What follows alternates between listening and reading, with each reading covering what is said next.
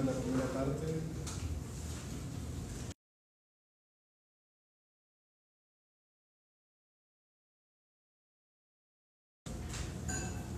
Bien, eh, estábamos hablando de la época de los manuscritos de 1844 y hay algunas observaciones para hacer en relación con este libro. Una es eh, específicamente sobre una cuestión literaria que a Marx le preocupaba y es el problema del estilo. Es Marx era una persona muy cuidadosa en la producción de la escritura y en la evaluación de la escritura. Así que las cuestiones es un problema que fue muy importante en la escritura de sus textos. Marx es, y también es una diferencia con marxistas posteriores, con algunos marxistas posteriores, era una persona que tenía mucho refinamiento en la escritura y algunos ensayos son notables en ese aspecto. El 18 Brumario de Louis Bonaparte es una obra maestra de, del estilo de escritura, inclusive con detalles muy pequeños de construcción de la frase. Es decir, Marx trabajaba con mucho cuidado la, la escritura de las frases para encontrar la forma que le parecía la más adecuada, la más expresiva. Hay varios artículos del año 1844 donde Marx se ocupa de estas cuestiones. Por ejemplo, él escribe un artículo con el título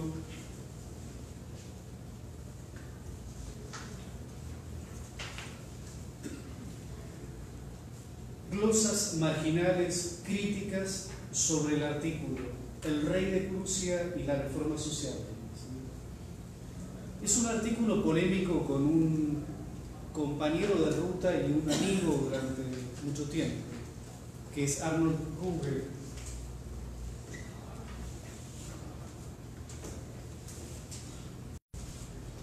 Es llamativo que Marx no se detiene solamente en hablar de las debilidades teóricas o políticas, sino de las debilidades estilísticas de la Él dice, aquellos que buscan en cada tema una ocasión para hacer ejercicios estilísticos en público, se verán llevados por esta actividad puramente formal a un contenido pervertido. Y tal contenido imprimirá el sello de la vulgaridad sobre esta forma. Es una teoría muy clásica del estilo. Recuerda con muchas diferencias algunas de las reflexiones sobre el estilo que hará Flaubert algunas décadas más tarde. Ustedes saben, posiblemente nunca existió en la historia de la humanidad una persona tan obsesiva como el estilo, con el estilo como Flaubert. Eh, a tal punto que algunos amigos de Flaubert pensaban que era demente. Eh, algunas anécdotas son, son impresionantes. Es decir, eh, Flaubert decía que estaba muy cerca de concluir la escritura de uno de los romances, si no recuerdo mal, se refiere a la educación sentimental. Entonces escribe para un amigo y colega llamado Turgenev, que está muy cerca de terminarlo. Entonces Turgenev le pregunta, ¿cuánto calcula que falta? Dice, solo tengo que revisar el final de las oraciones. Y Turgenev dice, ¿cuánto lleva eso? Y Flaubert dice, posiblemente un año y medio. Ahora, el concepto de estilo Flaubert es muy clásico. Inclusive las imágenes que él emplea, él decía que para un contenido hay una única forma que es correcta. Y comparaba el estilo con la laguna Estigia. Ustedes recuerdan que si alguien sumergía a una persona en la laguna Estigia, se convertía en acero, en aso. Aquiles fue sumergido y lo sostuvieron por el talón. Entonces el talón que no fue mojado es el punto débil de Aquiles. Turgenev pensaba que el estilo, el trabajo con el estilo consigue eso, volver prácticamente eh, inmune, inatacable, un estilo. El concepto de Marx es bastante comparable. Él piensa que hay que trabajar un contenido hasta que encuentre la forma correcta. Y aquellos autores que, y en esto está de acuerdo con, con Flaubert, dos personas que se ignoraron mutuamente, no sabía una de la existencia de la otra. Eh, Marx pensaba que un trabajo con la forma sin contenido produce monstruos, produce caligrafismo y por lo tanto una escritura vacía. Esto aparece también en un artículo más satírico, que es eh, una sátira al emperador Federico Guillermo IV. Es como si dijéramos, un intelectual brasileño escribe una sátira del estilo de, del estilo de Bolsonaro, solo que Bolsonaro no sabe escribir o sea que sería difícil escribir una sátira. Eh, o, el estilo de Macri, Macri no sabe hablar ningún lenguaje humano, especialmente el castellano.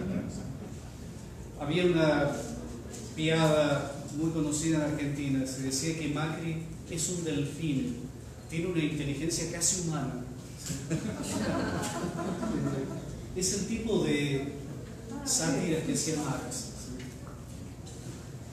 Hablando del rey de Prusia y de sus, sus edictos, sus declaraciones, sus leyes, lo que hace Marx es un análisis estilístico, eh, mostrando cómo escribe el rey de Prusia y señalando los, los problemas de escritura y la debilidad del estilo.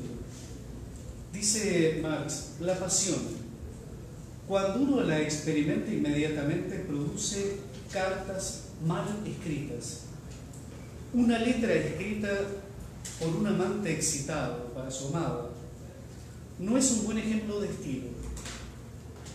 La confusión misma de la expresión es la más obvia, la más conmovedora indicación del poder que el amor ejerce sobre el escritor.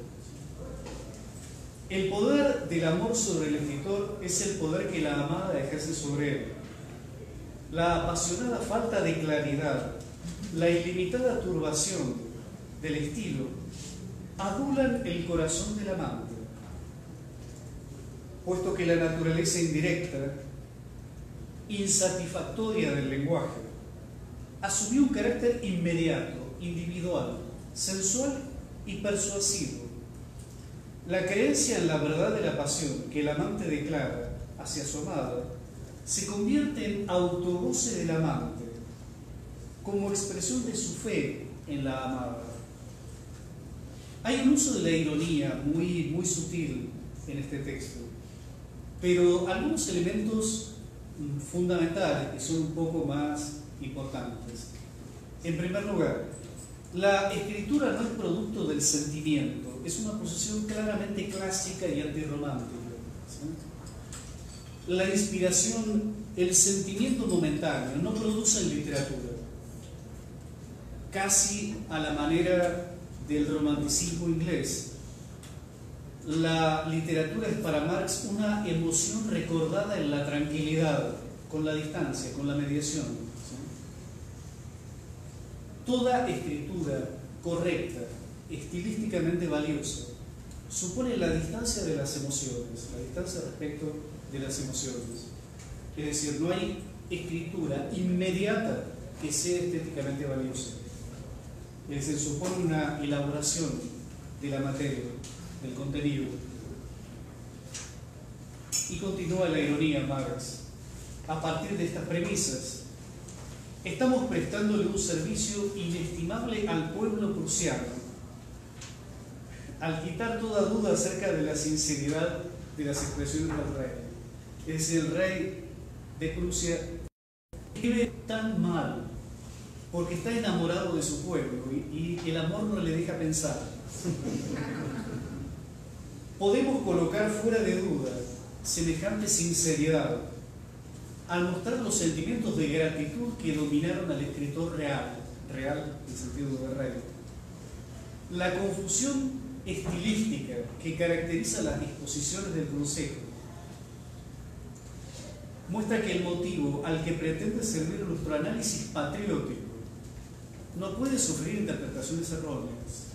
Esto es Marx puro, una, una figura muy irónica y con un uso de la sátira muy efectivo. Yo lo marco como un elemento diferente frente a otros marxistas, de características distintas. Un problema tradicional, no en Marx, sino en los marxistas, es el peso de la tradición ascética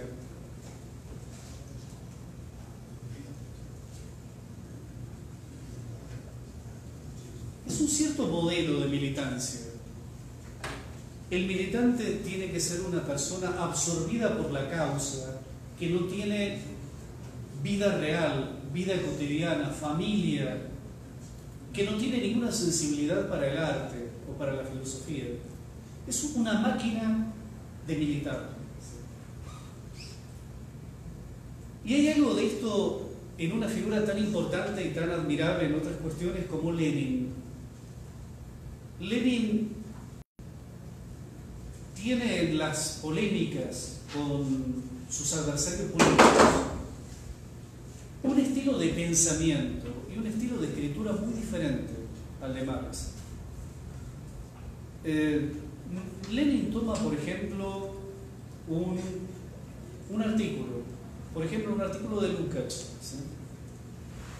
Uno imagina a Marx haciendo un análisis quirúrgico del artículo de Lucas, desarmándolo y usando la ironía. Lenin responde a Lucas diciendo, el artículo del camarada Lucas es pobre y muy malo. Y uno querría saber cuál es la fundamentación para eso. Y es un punto en el que Lenin, que como político tenía una percepción absolutamente genial y como organizador y orador también. No lo tiene. Es decir, no hay esa sutileza ni en el contenido ni en la forma. La escritura de Lenin es extraordinariamente rústica en ese aspecto. Y eso muestra la densidad de la reflexión estética en Lenin. Muchas veces se ha hablado de la admiración de Lenin por Tolstoy. Lo máximo, Tolstoy, si lo escribo.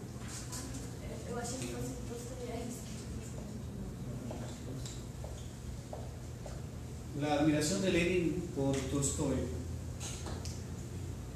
La observación más precisa que escribió Lenin es la siguiente. Tolstoy es un gran escritor ruso. El resto de la producción, y si tuviéramos tiempo, tal vez podríamos comentar esto mañana, el resto de la producción de Lenin sobre Tolstoy es destruir absolutamente la ideología de Tolstoy. Sin el más pequeño comentario sobre la construcción de la novela, la elaboración de los personajes, el estilo de Tolstoy, es simplemente observar en cada cosa la dimensión ideológica y política. Y por lo tanto, no respetar la especificidad del objeto, ¿se entiende? En el sentido que mencionábamos anteriormente. Yo siempre menciono esto en relación con un modelo de militante de mi generación y de las anteriores en la Argentina. Si un militante es un estudiante de filosofía o de literatura, simplemente hay que explicarle cómo tiene que abandonar la literatura y la filosofía para convertirse en un militante. Es un concepto muy diferente del de grandes marxistas como Gramsci que pensaban como Lucas, que pensaban que un socialismo sería importante si tuviera economistas, filósofos, pedagogos, artistas, escritores, con lógicas totalmente diferentes, porque la construcción de una hegemonía supone la multiplicidad de aspectos de la experiencia humana. El modelo de militante leninista supone que eh, es la fábula del granjero, no sé si la conocen. A un granjero le regalan una jirafa. Entonces, ¿qué hace un granjero con una jirafa? Le coloca un arado y lo pone a arar un campo. Porque no percibe la diferencia entre una jirafa y un buey.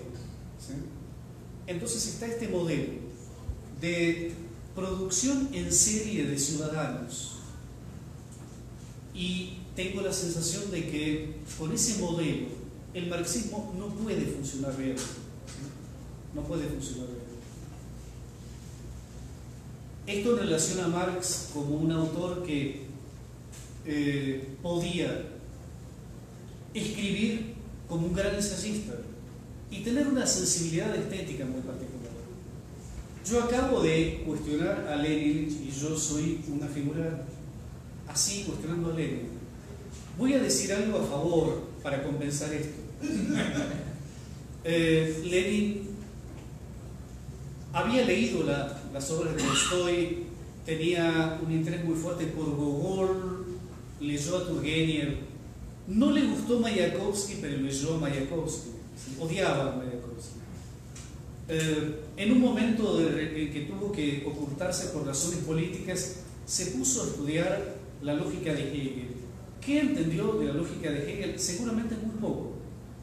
Ahora, imagínense a Macri o a Bolsonaro estudiando la lógica de Hegel.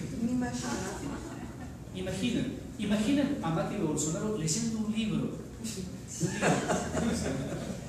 Y en ese sentido, al margen de la crítica, habría que captar la diferencia de estatura, de dimensión, entre una figura y otra.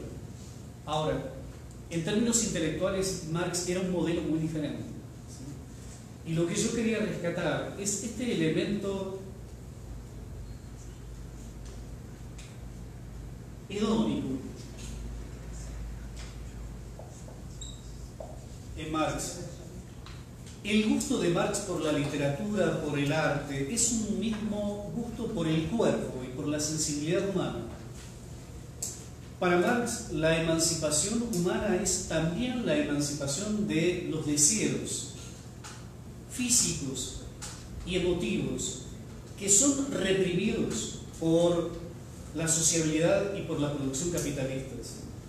Y eso incluye disfrutar de un estilo. Hay una famosa anécdota de Lenin, en que Lenin asiste a una ejecución de la sonata Kreutzer de Beethoven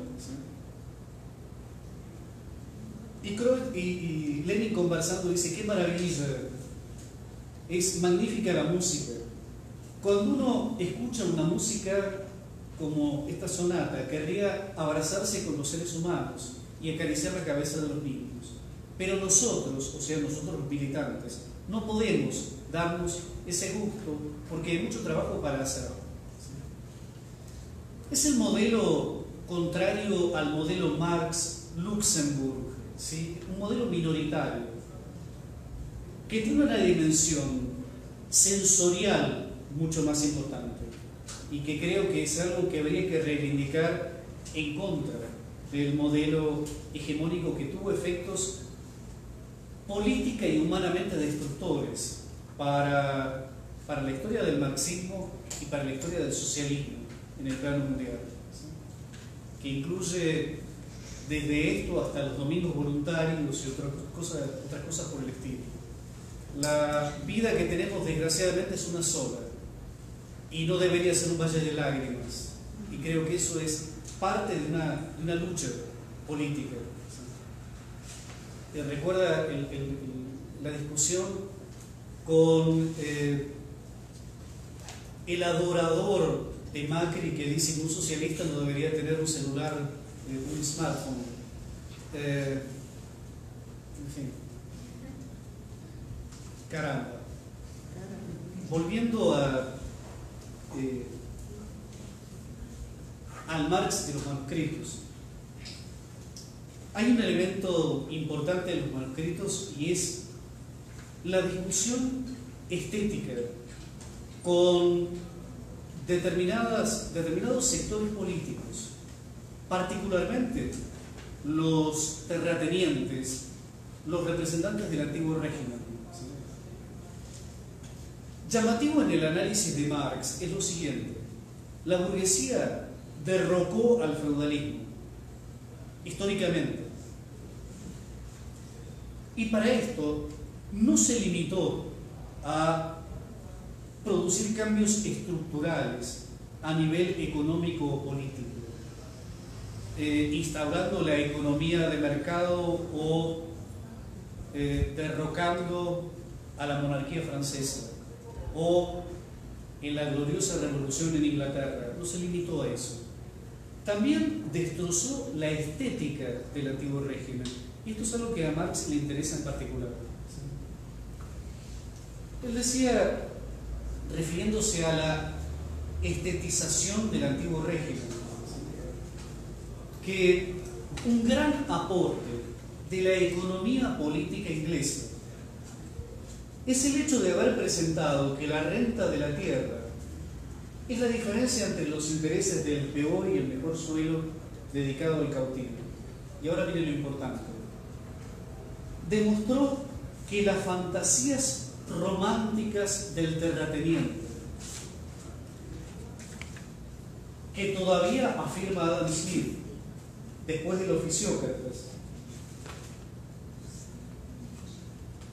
debían ser eh, destruidas.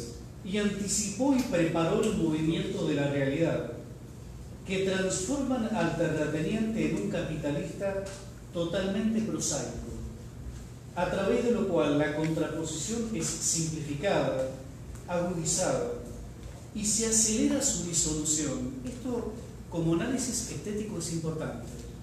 Lo que supone es que el antiguo régimen no solamente tenía la propiedad de la tierra, y la organización feudal de la política. Tenía también una fantasía romántica, dice Marx, que idealizaba la figura del terrateniente.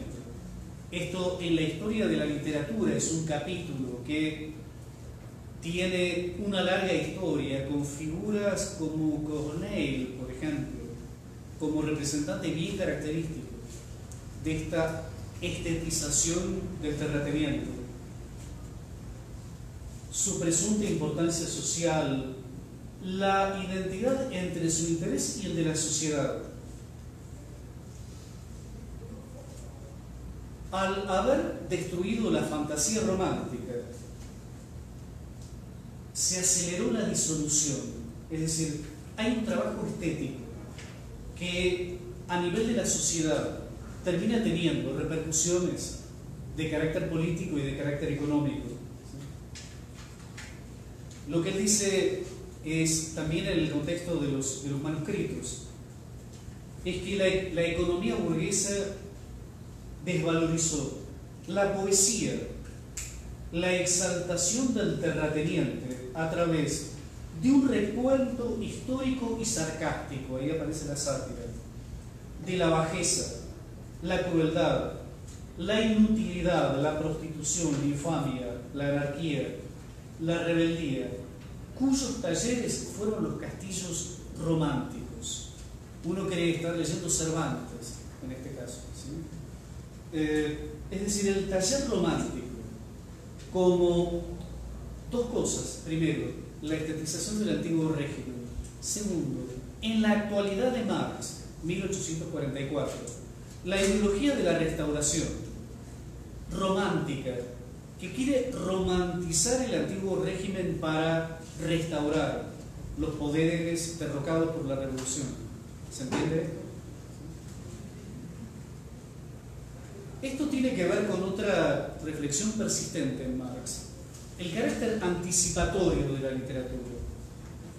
Marx, y esto lo subrayará luego a propósito de Balzac, pensaba que los grandes escritores, esos que tienen una gran capacidad de abstracción respecto de la época. Consiguen percibir fenómenos que no son visibles en la superficie de la sociedad. Marx decía que si uno lee la comedia humana de Balzac, encuentra ciertos tipos humanos que solo una generación más tarde resultaron claramente visibles a nivel social.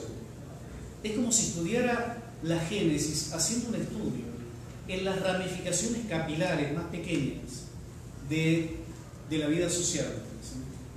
Y en ese sentido la literatura percibe estructuras y anticipa desarrollos en muchos casos. Es en relación con esto que aparece la reflexión estética más conocida de los manuscritos de 1844, y es aquella que se refiere al dinero. Marx, por primera vez en su obra, sin tener todavía una teoría sobre la génesis del dinero, no, lo sabe Marx todavía, ni poder explicar sustancialmente la, función del dinero en la economía capitalista. Comienza a estudiar la función del dinero y nuevamente en Marx de la década de 1840 piensa en términos de inversiones. El dinero es inversión de las relaciones humanas. Si el arte o la literatura son un modelo de realización personal, el dinero es la negación absoluta. Todo el poder humano, todas las capacidades esenciales del ser humano, son entregadas en poder de una cosa, el dinero. Una cosa que no parece tener una función práctica, más allá de su función económica. Recordemos, la teoría acerca del dinero es algo que no está desarrollado en el Marx de esta época. Pero él quiere explicar los horrores del dinero y para eso detiene la reflexión filosófica y comienza a citar literatura. Y cita a dos de esos autores que son importantes para él, porque tienen esa capacidad de generalización tan grande. El Fausto de Goethe y la obra de Shakespeare. Son pasajes muy conocidos. Uno es un pasaje de El Fausto, donde dice, tuyos son manos, pies, cabeza, trasero, todo aquello de lo que yo disfruto, es menos mío por eso. Si puedo pagar seis caballos, ¿no son mías las fuerzas de seis caballos? Corro así velozmente soy un hombre verdadero y cabal, como si tuviera 24 piernas. Es decir, el dinero puede todo lo que la persona no puede. Eh, cita luego Timón de Atenas de Shakespeare, pasaje muy, muy conocido. Dice, dulce regicida, amable agente de divorcio entre el hijo y el padre, corruptor del más puro lecho de Meneo, Marte valiente, Dios visible el dinero, que sueldas juntas las cosas de la naturaleza absolutamente contrarias. Esto es algo que le interesa en especial a Marx. Las obligas a que se abracen. Sabes hablar todas las lenguas, para todos los propósitos. Piedra de toque de los corazones. El hombre, tu esclavo, se revela y por la virtud que en ti reside, haz que nazcan entre ellos las querellas que los destruyen, para que las bestias puedan tener el imperio del mundo. La reflexión de Marx a continuación es ese carácter del dinero como prostituta universal, esa es la fórmula que él, que él aplica. Es decir, es una celestina o una prostituta universal que invierte todas las relaciones sanas entre los seres humanos y entre los seres humanos y la naturaleza. Vuelve fuerte al débil, eh, ágil al inválido, hermoso al feo, etc. No sé si se entiende eso en portugués. En castellano decimos billetera mata a galán. Billetera es donde se guarda el dinero. Eh, es decir, si para la filosofía de Feuerbach Dios es una creación del hombre y Dios puede todo lo que el hombre no puede, es la expresión de la impotencia. En Marx hay un desplazamiento, no es Dios sino el dinero. El dinero es el poder que hace todo lo que los seres humanos por sí mismos no pueden.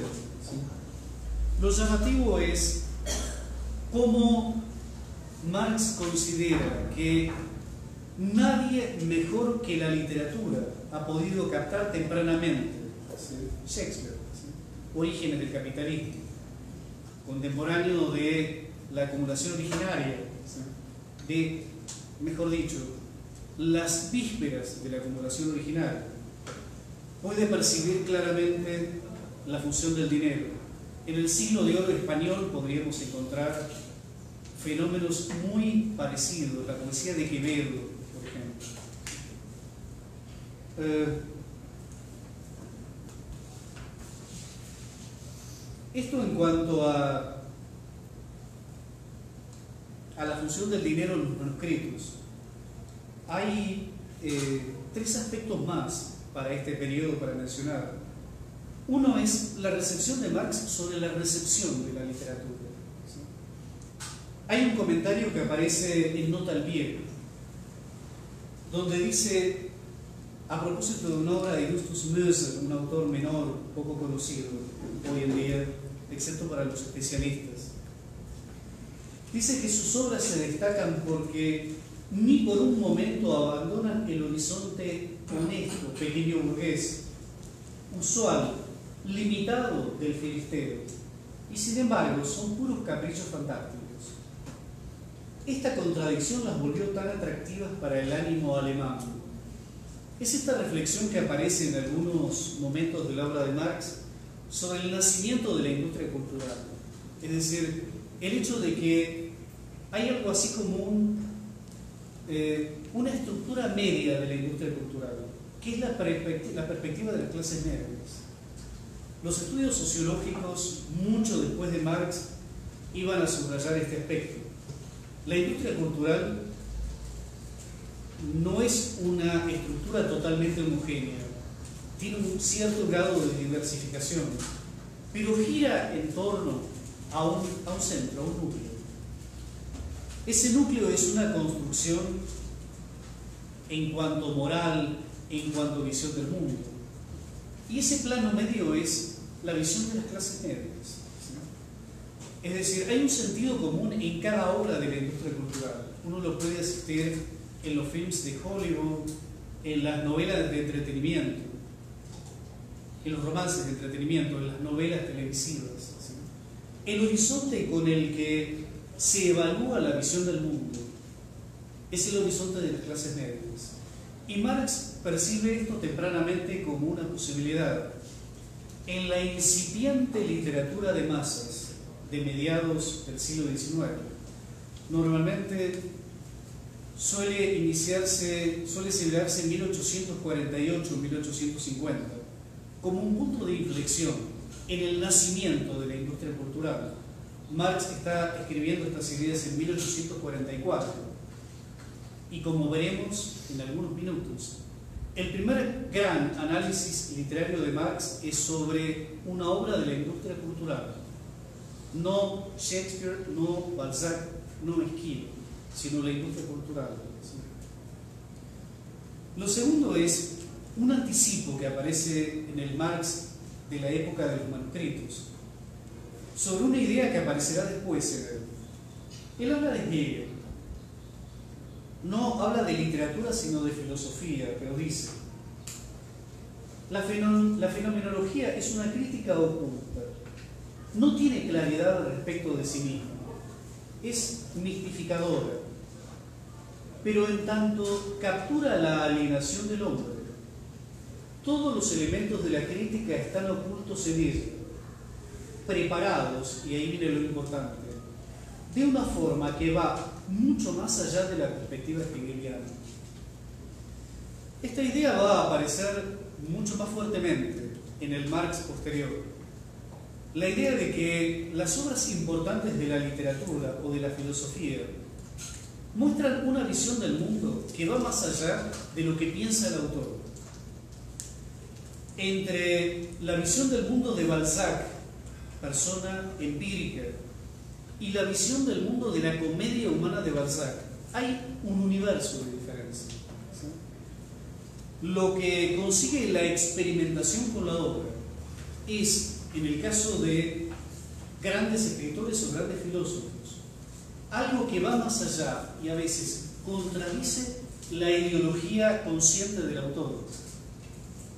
Y aquí es donde el respeto por la materia, por el objeto, por los materiales, y el hecho de no dejarse manipular ideológicamente por las propias convicciones es fundamental. ¿Se entiende la idea? ¿Sí? La hora de la digestión es muy complicada para hablar de filosofía. Eh, la otra es una, una referencia al Fausto de Goethe. Dice, cada necesidad tiene la oportunidad de presentarse y decir, querido amigo, te doy lo que necesitas, pero tú conoces la condición sine qua non. Tú sabes con qué tinta debes firmar. Es el pacto que el mundo burgués le propone al, al ser humano. Un pacto demoníaco, diabólico. Eh, habíamos hablado de Marx y la industria cultural, tal vez un aspecto insospechado. Sin embargo, ocurre lo siguiente. Eh, Marx y Engels comienzan una colaboración en común. Sabemos que trabajan en la ideología alemana, una obra publicada mucho después de la muerte de ambos. Comentaba en broma a Marx que habían abandonado la ideología alemana a la crítica roedora de las ratas. Y sí escriben una obra en común, dividiéndose los capítulos, que publican como libro, y que es la Sagrada Familia, la crítica de la crítica crítica, 1845.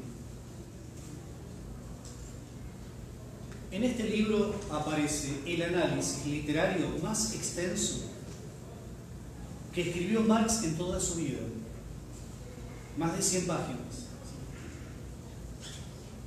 Y está en el marco de una obra muy intensamente satírica,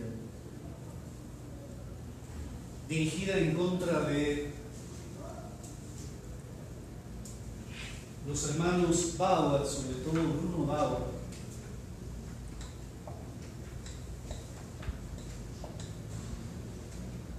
y, eh, y de la revista, la Gaceta Literaria General de los hermanos Bauer. Él dice contra Bruno Bauer y consortes. Marx está tomando un, un hecho de, de, de enorme actualidad, que es una nueva forma literaria, que surgió muy pocos años antes, y que es el folletín. ¿Qué es el folletín? El romance de folletín. No sé cómo se dice en portugués. Folletim. Folletín. ¿Recuerdan en qué consiste? ¿Sí? Es decir, a un periodista francés, Girard Rand, se le ocurrió una idea y es aprovechar en un diario, en el siete, la forma tradicional del periódico, que tenía tres partes. Aquí había una línea ¿sí? de separación y abajo aparecían las noticias que se consideraban poco importantes, fofocas, ¿sí? eh, anécdotas. Lo que quería Girardin es aumentar el volumen de ventas y se le ocurre darle un uso nuevo a esta parte inferior del periódico y es publicar romances por entregas. Entonces el que compraba el periódico seguía comprando para saber cómo continuaba. Esto ocurre en 1836 y el primer romance de folletín en la historia de la literatura fue, ¿alguien sabe? Una traducción al francés de Lazarillo de Tormes, la novela española, el romance español. El éxito fue inmenso Y entonces comenzó a ocurrir que se les pedía a los escritores obras originales y aparecieron varios periódicos que, competían entre ellos. Surgieron escritores verdaderamente geniales para la técnica del folletín, como eh, por ejemplo.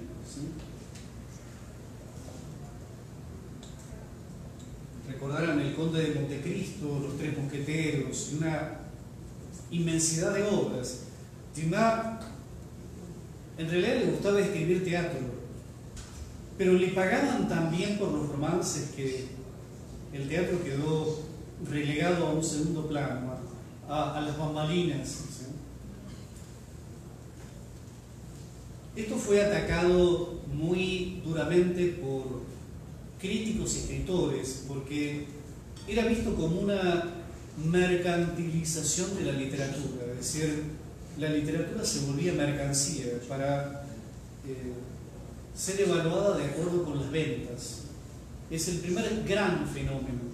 Hubo casos anteriores en la literatura europea, pero el romance de folletín fue un salto cualitativo en la génesis de lo que se llamó en ese momento literatura industrial. El primer gran éxito en la historia de el folletín fue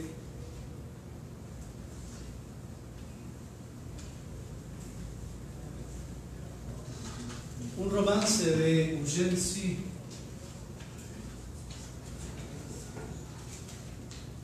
llamado Los Misterios de París. Es imposible dar una idea del éxito que tuvo. Apareció durante los años 1842 y 43. Eh, en una época en que todavía no estaba tan difundida la capacidad lectora entre la población, incluso en París, y que se organizaban sesiones para leer públicamente capítulos del romance.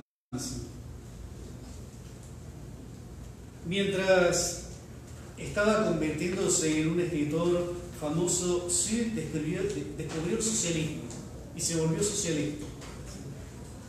Antes de eso era un dandy eh, refinado y rebelde. Sí se volvió socialista. Varias de los misterios de París tienen una utopía cooperativa agraria como modelo. Y el éxito de Xu llegó a un punto tal que inició una carrera política, se convirtió en parlamentario socialista. Ascenso que terminó con el exilio de Xu. Ahora, Los Misterios de París fue el mayor éxito de su vida y uno de los mayores éxitos del siglo XIX. Hay que reponer algunos elementos para entender el análisis de Marx. Digamos que la idea fundamental del romance, me siento tentado a decir, la mejor idea de Xu fue el concepto del romance. Él había leído los romances norteamericanos de James Fenimore Cooper, ubican el último de los mohicanos. En los romances de Cooper aparece el ambiente de la pradera norteamericana y aparece la imagen de eh, el héroe, medias de cuero, que es alguien que sabe interpretar la naturaleza, leer los, las huellas, una especie de detective a la letra, que lee el escenario natural de la pradera norteamericana como Sherlock Holmes va a leer la jungla de la gran ciudad. ¿Entienden? Por eso, una de las influencias sobre Poe y sobre Conan Doyle son los romances de Fenimore Cooper. Es una, un paso de la jungla natural a la jungla urbana, como un ambiente que puede ser leído por personas que tienen la inteligencia y el método para leer correctamente. Un punto intermedio entre el policial de Poe y los romances de Fillmore Cooper fue el romance de Sue. Lo que le dice al lector el romance de Sue es lo siguiente. Ustedes conocen la ciudad de París, una ciudad de esplendor, de riqueza, de una arquitectura impresionante. Ese París existe de día. Cuando llega la noche y ustedes están encerrados en sus casas, hay un París que vive debajo de la tierra y que sale a la superficie, que vive en catacumbas, pasillos subterráneos, lugares desconocidos. Es una imaginería muy gótica. Ellos salen a la superficie. Ustedes no los conocen, pero es un mundo que vive en París. Yo les voy a mostrar ese mundo. Entonces, habla el lenguaje, el argot de los delincuentes, muestra cómo se visten, cómo es posible leer la conducta de los delincuentes. Y crea una galería de personajes. Eh, una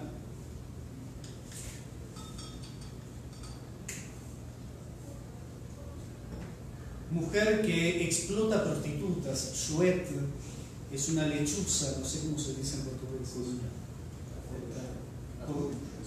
Eso. Eh, Ustedes dan café, cafecino, cafecino. No, no, ma es porque es nocturna. ¿no? Es Es porque nocturna. un ave nocturna. Claro, justamente son personajes que pertenecen al ámbito de lo nocturno. ¿sí? Eh,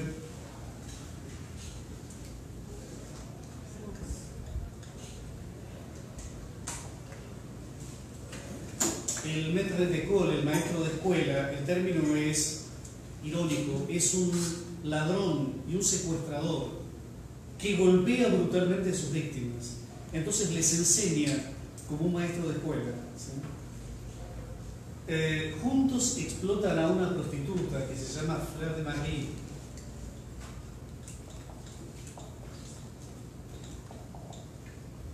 que es una, una adolescente prácticamente, que se ve obligada a prostituirse y que sin embargo tiene eh, un corazón y un espíritu cristiano eh, innatos. Frente a eso lo que aparece es el superhéroe, el primer gran superhéroe de la literatura moderna, Rodolfo. Todos ustedes conocen a Bruce Wayne, ¿verdad? Eh, el, el abuelo de Bruce Wayne es Rodolfo. Eh, eh, lo- los héroes del cine eh, de Marvel, por ejemplo, de DC Comics, tienen superpoderes, ¿verdad? Eh, ¿Cuál es el, super- el superpoder de Flash? La velocidad. ¿El, super- el- superpoder de Bruce Wayne cuál es? ¿Cómo? El dinero. Esto recuerda a lo que decíamos en relación con, con Marx. En uno de los filmes eh, de la Liga de la Justicia, Bruce Wayne va a contratar a Flash. Y Flash le pregunta, ¿cuál es tu superpoder? Y él dice, I'm rich. Eh, es algo que ocurre en buena medida con Rodolfo y que ocurrirá con el conde de Montecristo. Tienen una fortuna imbatible y eso les permite tener, no tiene eh, un batimóvil porque no había automóviles, pero tiene otras capacidades. Rodolfo tiene el poder típico en los superhéroes de cambiar de personalidad. Esto aparecerá también en Sherlock Holmes, por ejemplo. Él puede disfrazarse de modo tal que nadie lo identifique.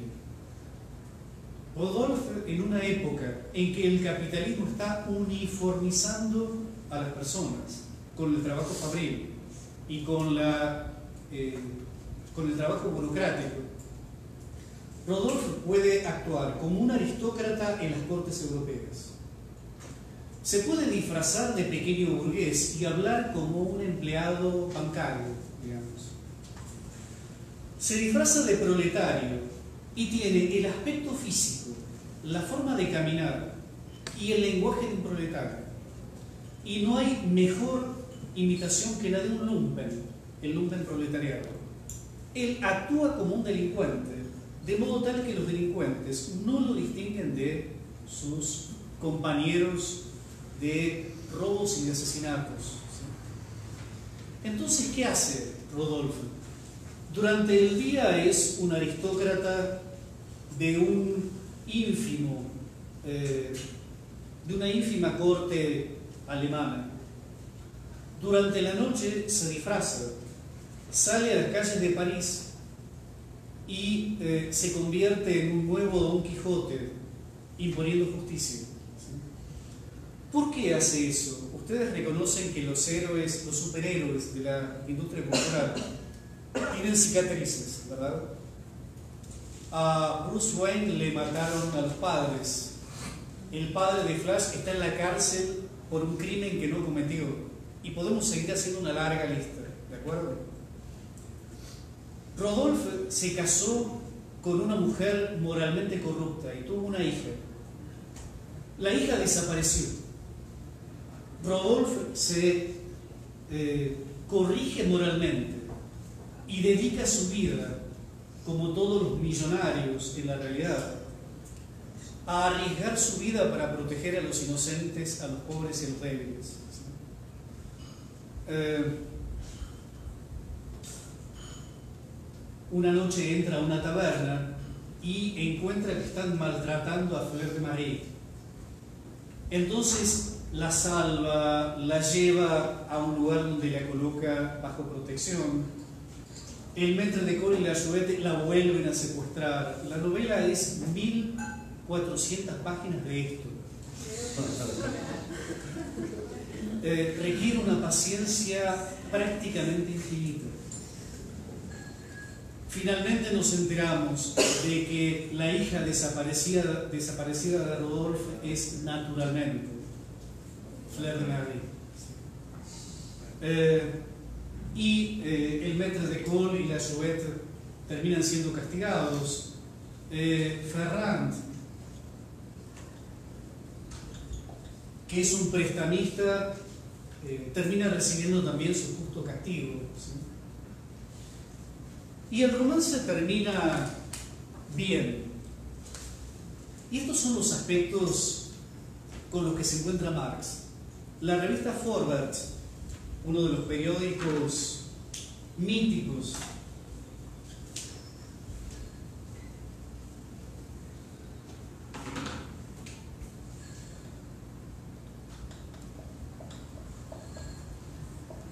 en el socialismo alemán,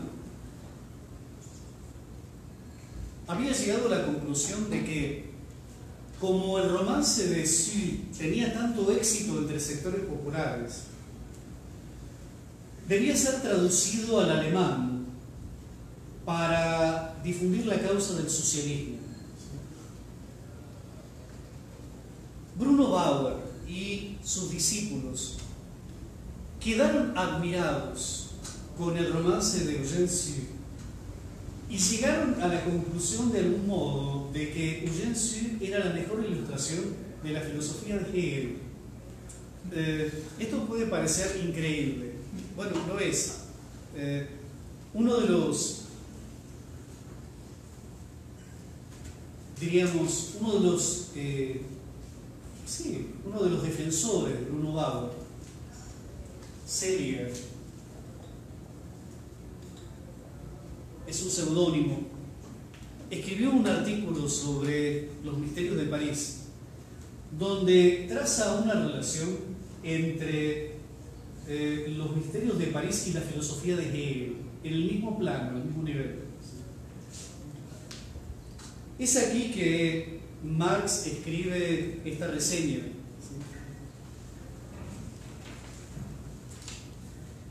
que es eh, su artículo más extenso, su contribución más extensa sobre literatura, y que ocupa un lugar central en la Sagrada Familia. Marx escribe dos capítulos, diríamos. Uno sobre el romance de Eugène y otro sobre la reseña, sobre el comentario que hace Seliger. es interesante porque no solo es un análisis literario de un romance, sino que es una reflexión sobre las tareas de la crítica literaria, porque está evaluando el artículo crítico de otra persona y haciendo observaciones al respecto. Es llamativo que es un sector de la obra de Marx muy poco discutido. Hay algunos análisis interesantes, por ejemplo, un comentario muy positivo que hace Humberto Eco sobre los misterios de París y sobre el análisis de Marx, que Humberto Eco suscribe totalmente, y que está en un pequeño libro maravilloso que es El superhombre de masas. Pienso que debe existir eso en portugués. En el análisis de Marx aparecen muchos niveles y a veces los lectores no perciben o no quieren percibir, esto. Por ejemplo, hablábamos allá de René Wellek.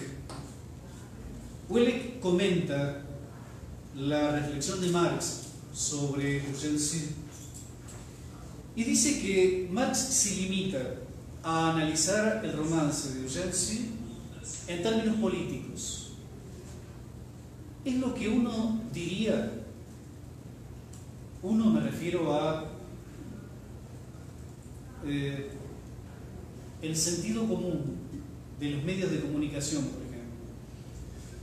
Si un periodista argentino de la televisión, del grupo Clarín, por ejemplo, le pregunta, eh, ¿qué escribe Marx sobre la literatura? Ah, solamente habla de la política en la literatura. No, no leyó, no, no leyó media página de Marx. Pero es lo que pasa en la mente de una cabeza fundamentalmente vacía, que piensa en términos de lugares comunes y de estereotipos y de preconceptos. Es llamativo que una persona con la erudición de René Wellek haga esto. Es algo muy llamativo. Muchas veces tengo la impresión de que Marx es una figura molesta y que molesta tanto que lo critican antes de haberlo leído. Es esa figura que es culpable antes de haber cometido el robo, por posesión de fama. En, en otros casos es casi peor. Un crítico de la estética marxista bastante, bastante formado, que es Fritz Radatz.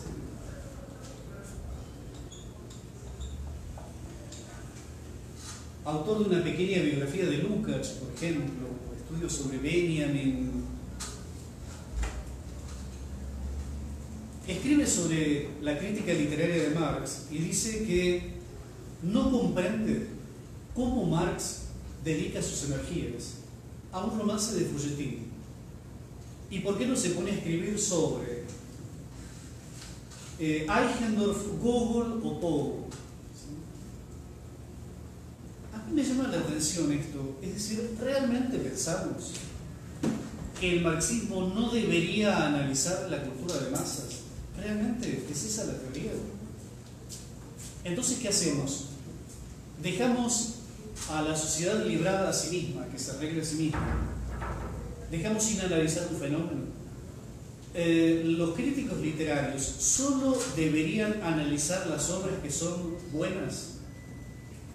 Bien, ¿quién es el eh, dictador que señala cuando una obra es buena y merece ser analizada?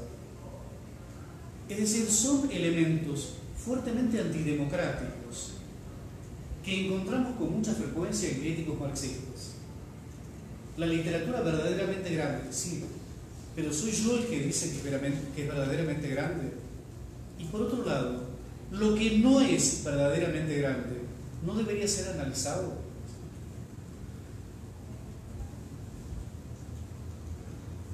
Inclusive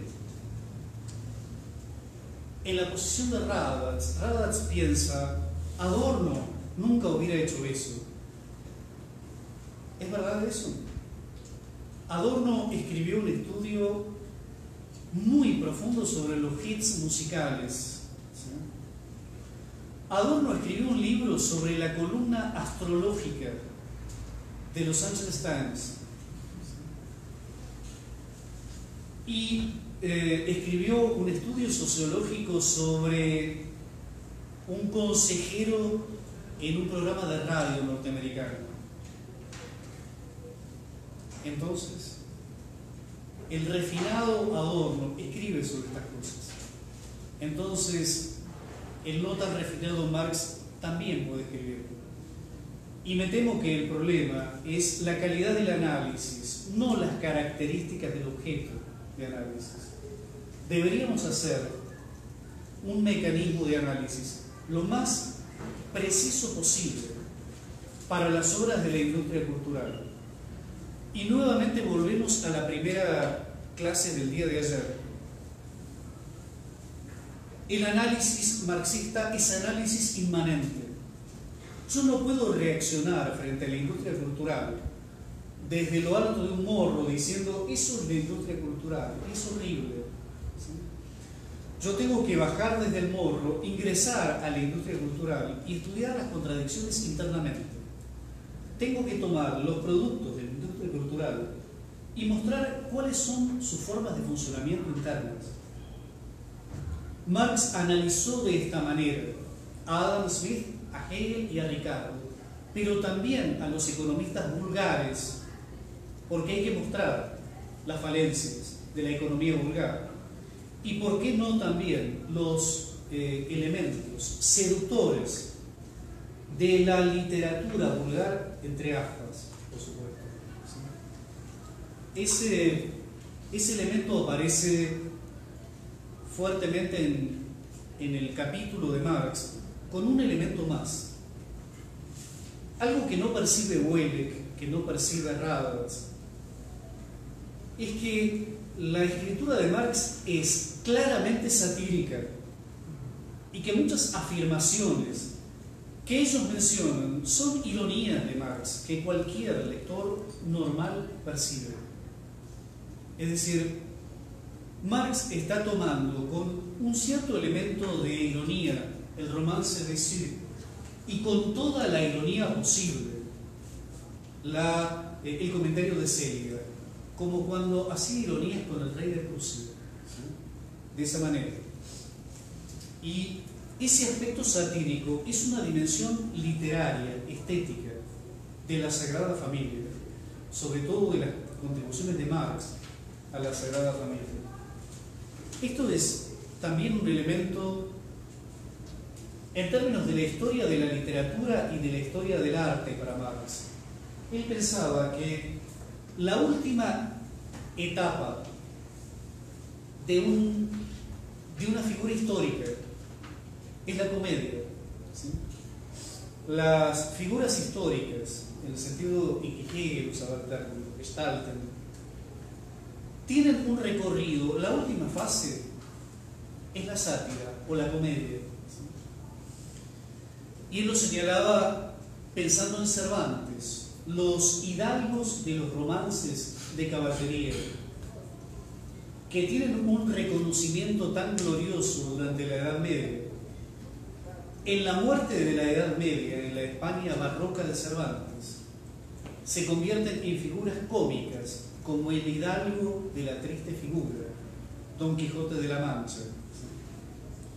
Esto mismo planteaba Marx en relación con la literatura antigua. Los grandes dioses homéricos, en los diálogos de Luciano son figuras cómicas, porque ya perdieron esa reverencia religiosa que habían tenido en alguna época. Esto es interesante porque Marx lo emplea también en sus análisis políticos. Marx era también una figura con una gran capacidad para analizar coyunturas históricas. Por ejemplo, el 18 Brumario de Luis Bonaparte, que es una gran sátira y que comienza como una sátira. ¿Recuerdan cómo comienza el 18 Brumario? Más o menos así. Hegel dice en alguna parte que todos los grandes acontecimientos históricos tienen lugar por así decirlo, dos veces, solo que se olvidó de decir la primera vez como tragedia, la segunda como farsa. Entonces, Napoleón I es una figura seria, Napoleón el Grande, como lo llamaban. Hugo, el escritor francés, escribió un romance sobre Napoleón III y le puso como título Napoleón el Pequeño. Eh, es lo que plantea Marx en el sentido de que la Revolución Francesa, el terror, el proceso napoleónico, la expansión europea de Napoleón, la caída de Napoleón, son un enorme drama de la sociedad francesa y de Europa. Napoleón III es la comedia y por lo tanto todos los elementos característicos de Napoleón III son cómicos, son ridículos. La forma musical que tuvo mayor éxito en la época de Napoleón III es la opereta. Nadie podría escribir una ópera sobre la época de Napoleón III. Es una figura de opereta. Eh, ¿Con quién comparamos a Bolsonaro, por ejemplo? ¿Con Napoleón I o III? ¿Qué les parece? Eh, hay un artículo de, de Lucas sobre el nazismo, escrito cuando está llegando al final del nazismo, algo que no se podía predecir. Es un artículo que Lucas les escribe a los alemanes para que tomen el destino histórico en sus manos y contribuyan a la caída de Hitler. Y hay un momento en el que dice eh, Lucas, citando a Juvenal, al poeta latino Juvenal, hoy en día es muy difícil no escribir una sátira. Y esto lo plantea en relación con la Alemania de Hitler. Él dice, en nuestra época, esto lo escribe en 1944, en nuestra época,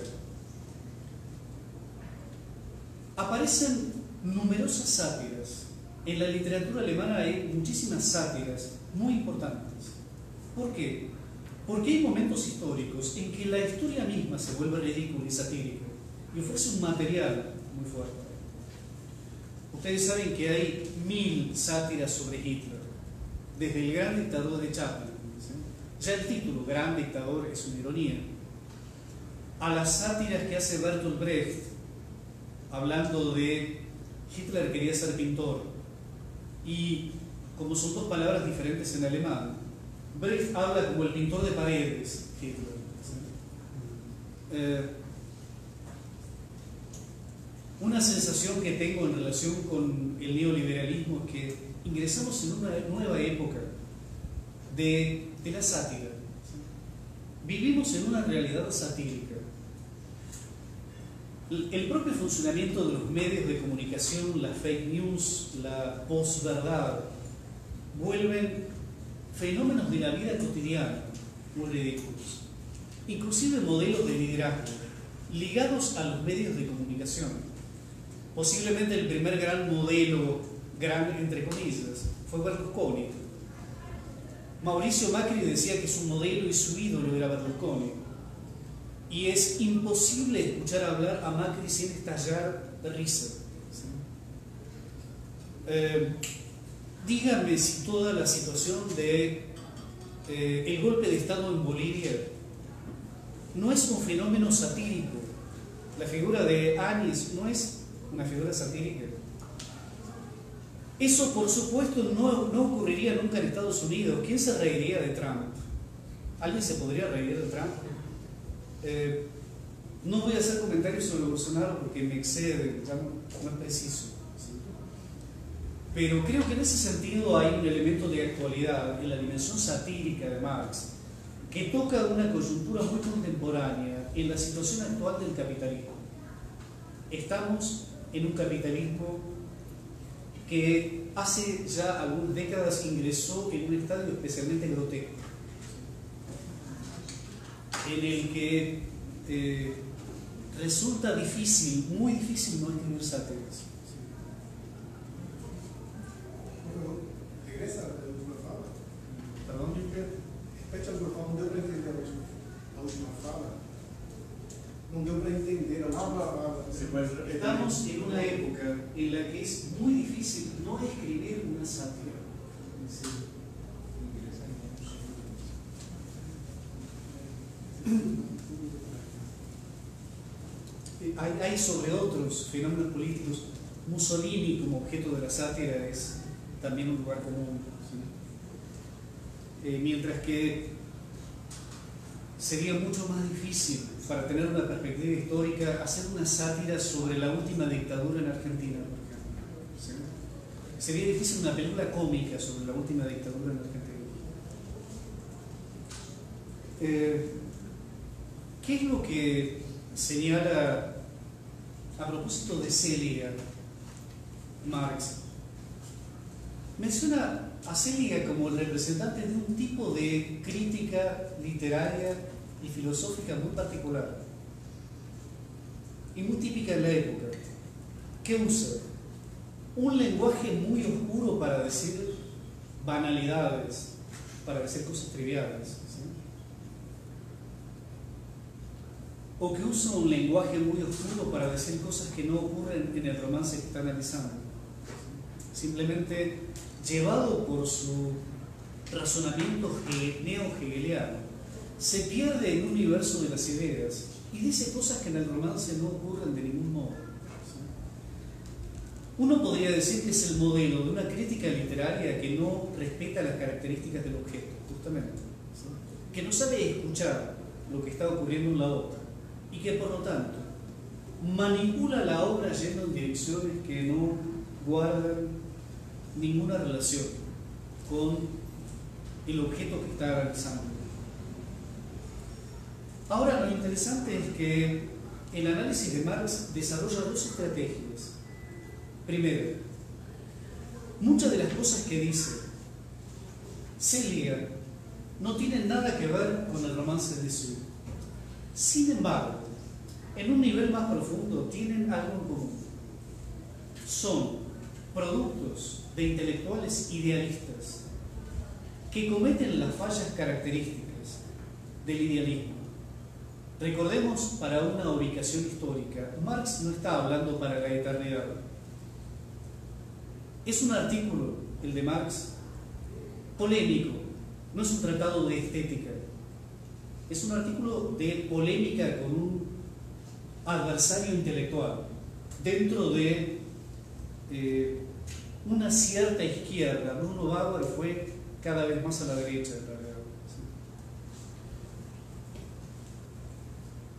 Y se está peleando con el idealismo en Alemania, con el idealismo neo-hegeliano, es decir, con un rival en particular.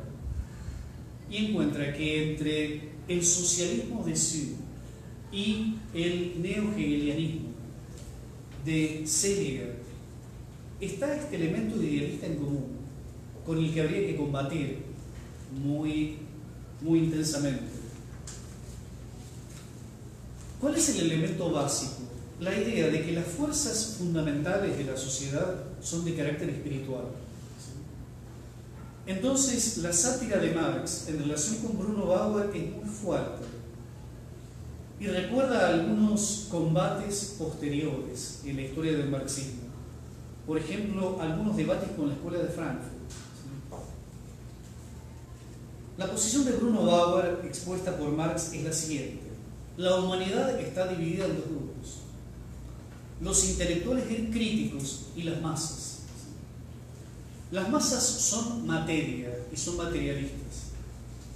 Y no pueden ser reformadas de ninguna manera. Encima de las masas están los intelectuales críticos, que son el espíritu y que son la única esperanza para la humanidad. Es decir, es un modelo de intelectual divorciado de las masas, alejado de los sectores populares. Y dice Marx lo siguiente, de un lado están las masas, el elemento pasivo, sin espíritu, ahistórico, el material de la historia. Del otro lado están el espíritu, Bruno Bauer y compañía, el elemento activo del que procede toda la acción histórica. El acto transformador de la sociedad es solamente la actividad mental de la crítica crítica. Hay una relación entre esto. Están las masas y los intelectuales, los mandarines. Y en la teoría neo-hegeliana de Bruno Bauer está la realidad histórica y la historia, escrita con letras mayúsculas. Está la historia y la historia.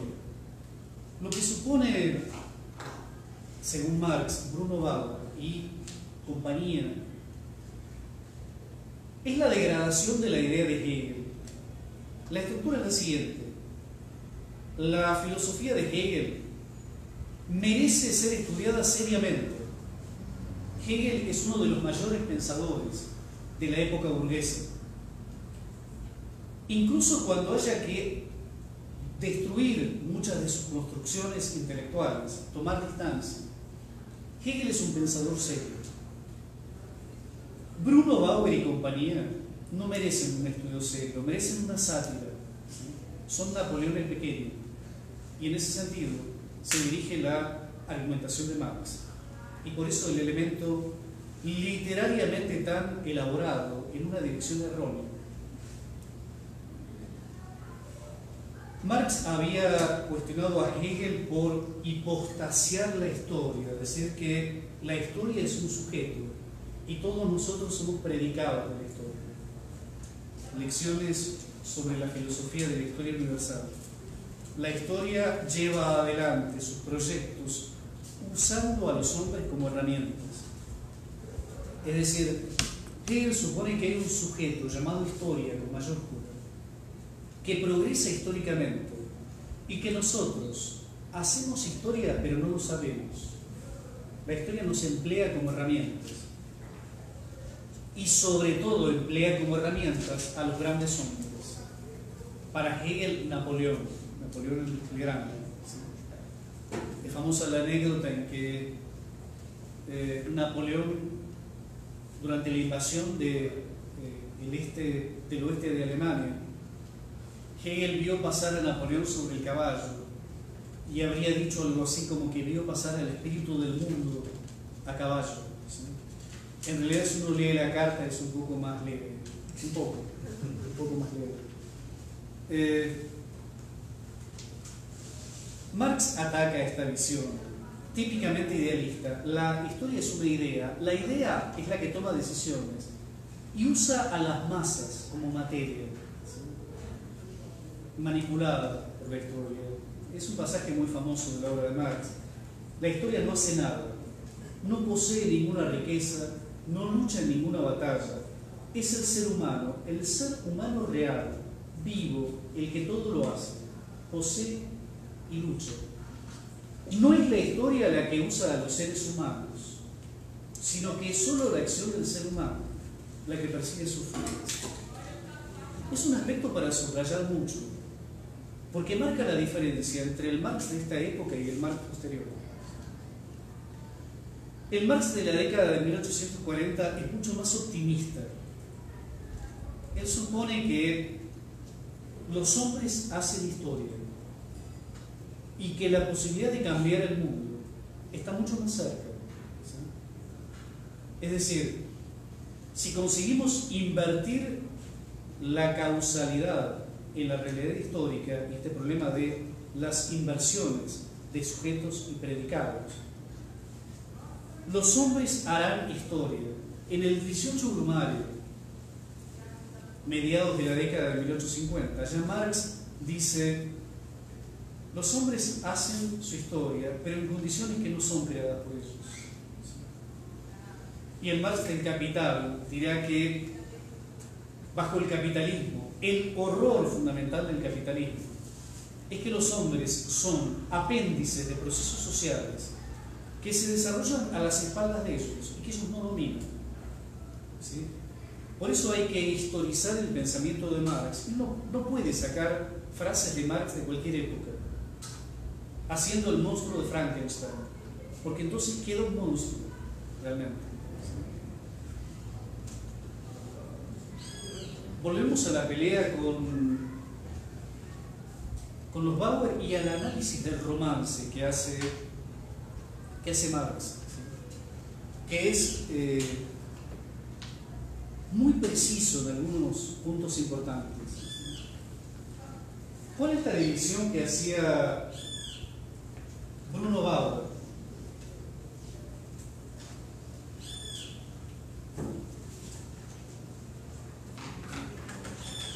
De un lado están los intelectuales,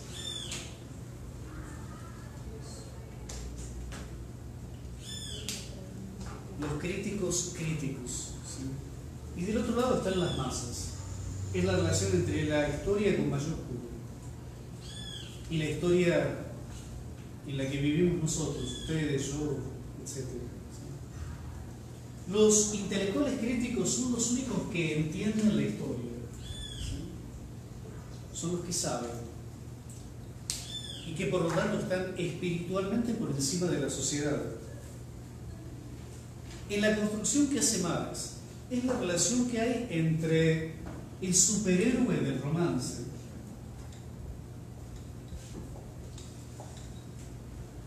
y los personajes comunes. Ustedes, yo y también algunos delincuentes. Es el anticipo de la cultura norteamericana de los superhéroes. Ustedes vieron que cuando los superhéroes norteamericanos se pelean en las calles, dicen no hay que dejar aparte a los civiles. Los civiles somos nosotros. Hay una línea y por encima están los superhéroes, están Superman, Ford, eh, Bolsonaro, etc. Los hombres poderosos. Eh, en la novela, en el romance de Eugène, sí detecta Marx una relación parecida a esta. Rodolphe es un superhéroe terrateniente, un aristócrata, un aristócrata que posee superpoderes, por ejemplo, una fuerza prodigiosa, una inteligencia sobrehumana y, ¿por qué no?, una fortuna económica inmensa. ¿Qué hace Rodolphe con la sociedad? Como el romance de Sue es, en el fondo, un romance pequeño burgués. Lo que trata de hacer es interpretar la política en un sentido típicamente pequeño burgués, de manera moral. Hablábamos ayer, las clases medias frecuentemente solo entienden de la política una cosa, la corrupción. Entonces, el héroe de este romance tiene que corregir o castigar moralmente a los demás personajes de la novela. Es un superhéroe que premia o castiga, que alternativamente usa el látigo o el terrón de azúcar.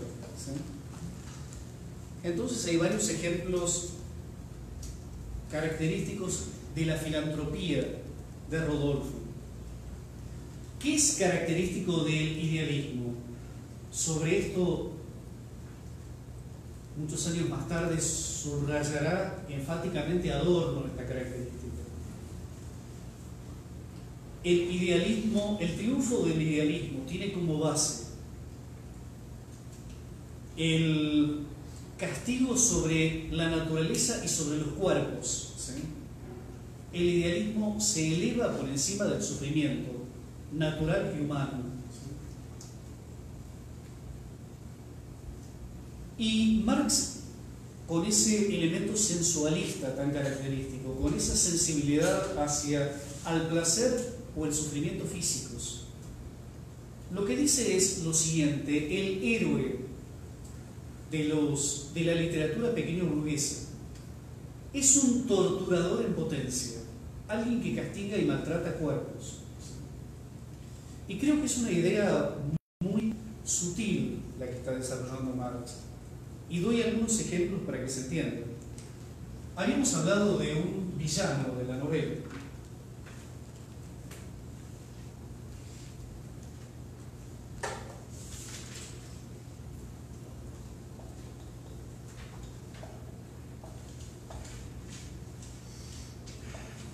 El maître de cor. Hay que notar la ironía. El maître de col es una figura despreciable, un ladrón, un secuestrador, un eh, proxeneta. Y, Rodolfo es el verdadero maestro del romance que enseña, educa, eh, castiga. Él atrapa al maître de col y lo que quiere es reeducarlo. ¿Cómo lo reeduca? Hace venir a un médico, eh, llamativamente traído de las colonias, es un creol. Y ese, ese, ese, médico hace un tratamiento por el cual el metro de col queda ciego. Entonces Rodolfo abre la puerta y lo deja irse, ya lo dejó ciego. El comentario de Marx recuerda muy fuertemente un comentario que hace muchos años más tarde Freud. Ustedes recuerdan el artículo sobre lo siniestro de Freud. Es el análisis de un cuento fantástico de Hoffman, donde hay una obsesión por los ojos. Y Freud dice que el temor ante la pérdida de los ojos es una imagen de la castración. Marx se pregunta qué significa haber dejado ciego al meter de coro.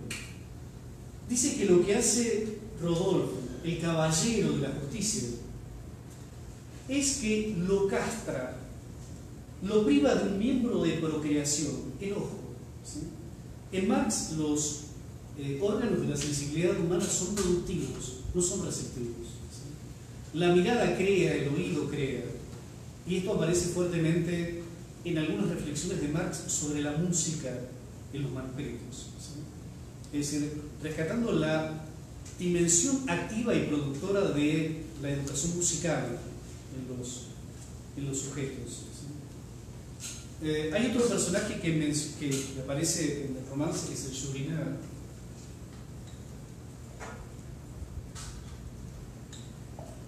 No sé cómo se dice en portugués.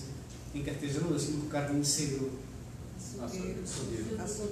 ¿Cómo es? Eh,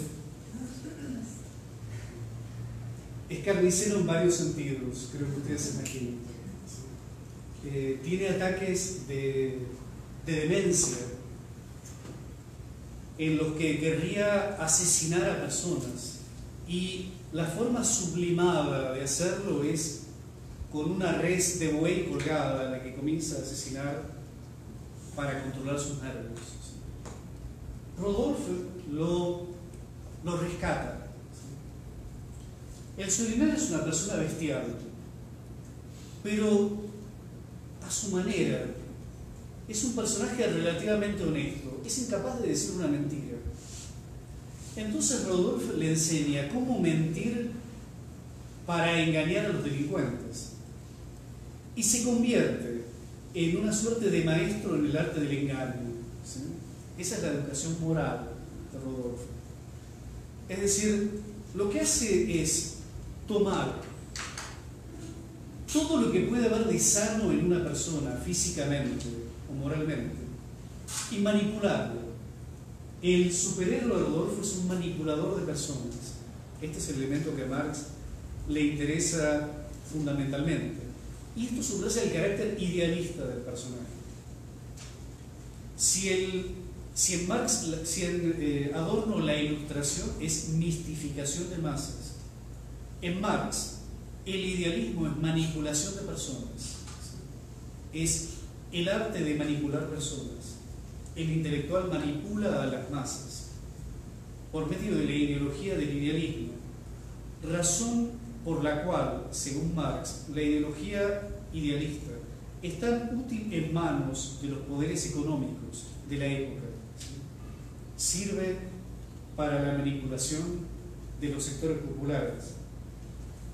¿Qué ocurre con la hija? Y este es el caso más interesante. Habíamos hablado de Fleur de Marie.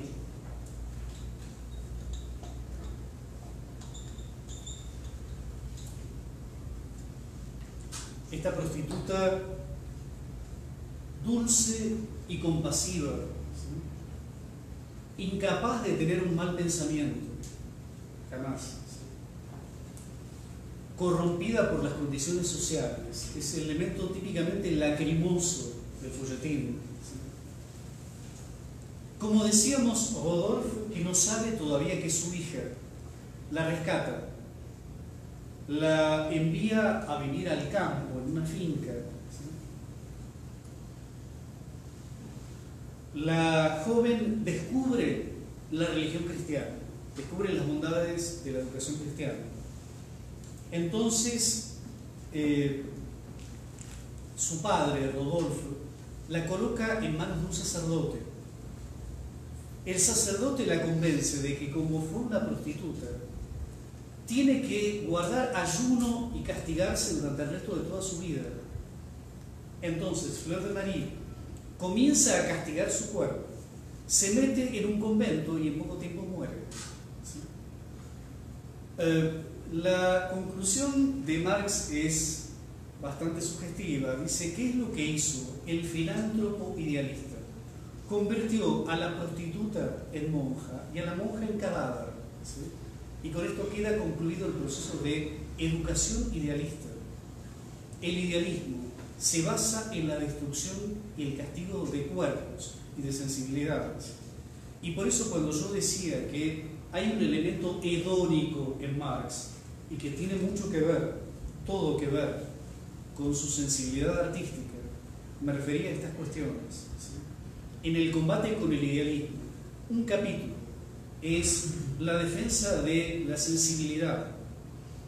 Hay secciones muy específicas sobre esto en los manuscritos de 1844, como cuando analiza la historia humana como una historia de la formación de los cinco sentidos.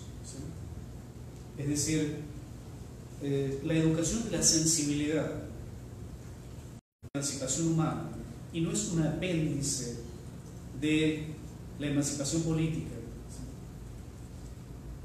El punto es que no solo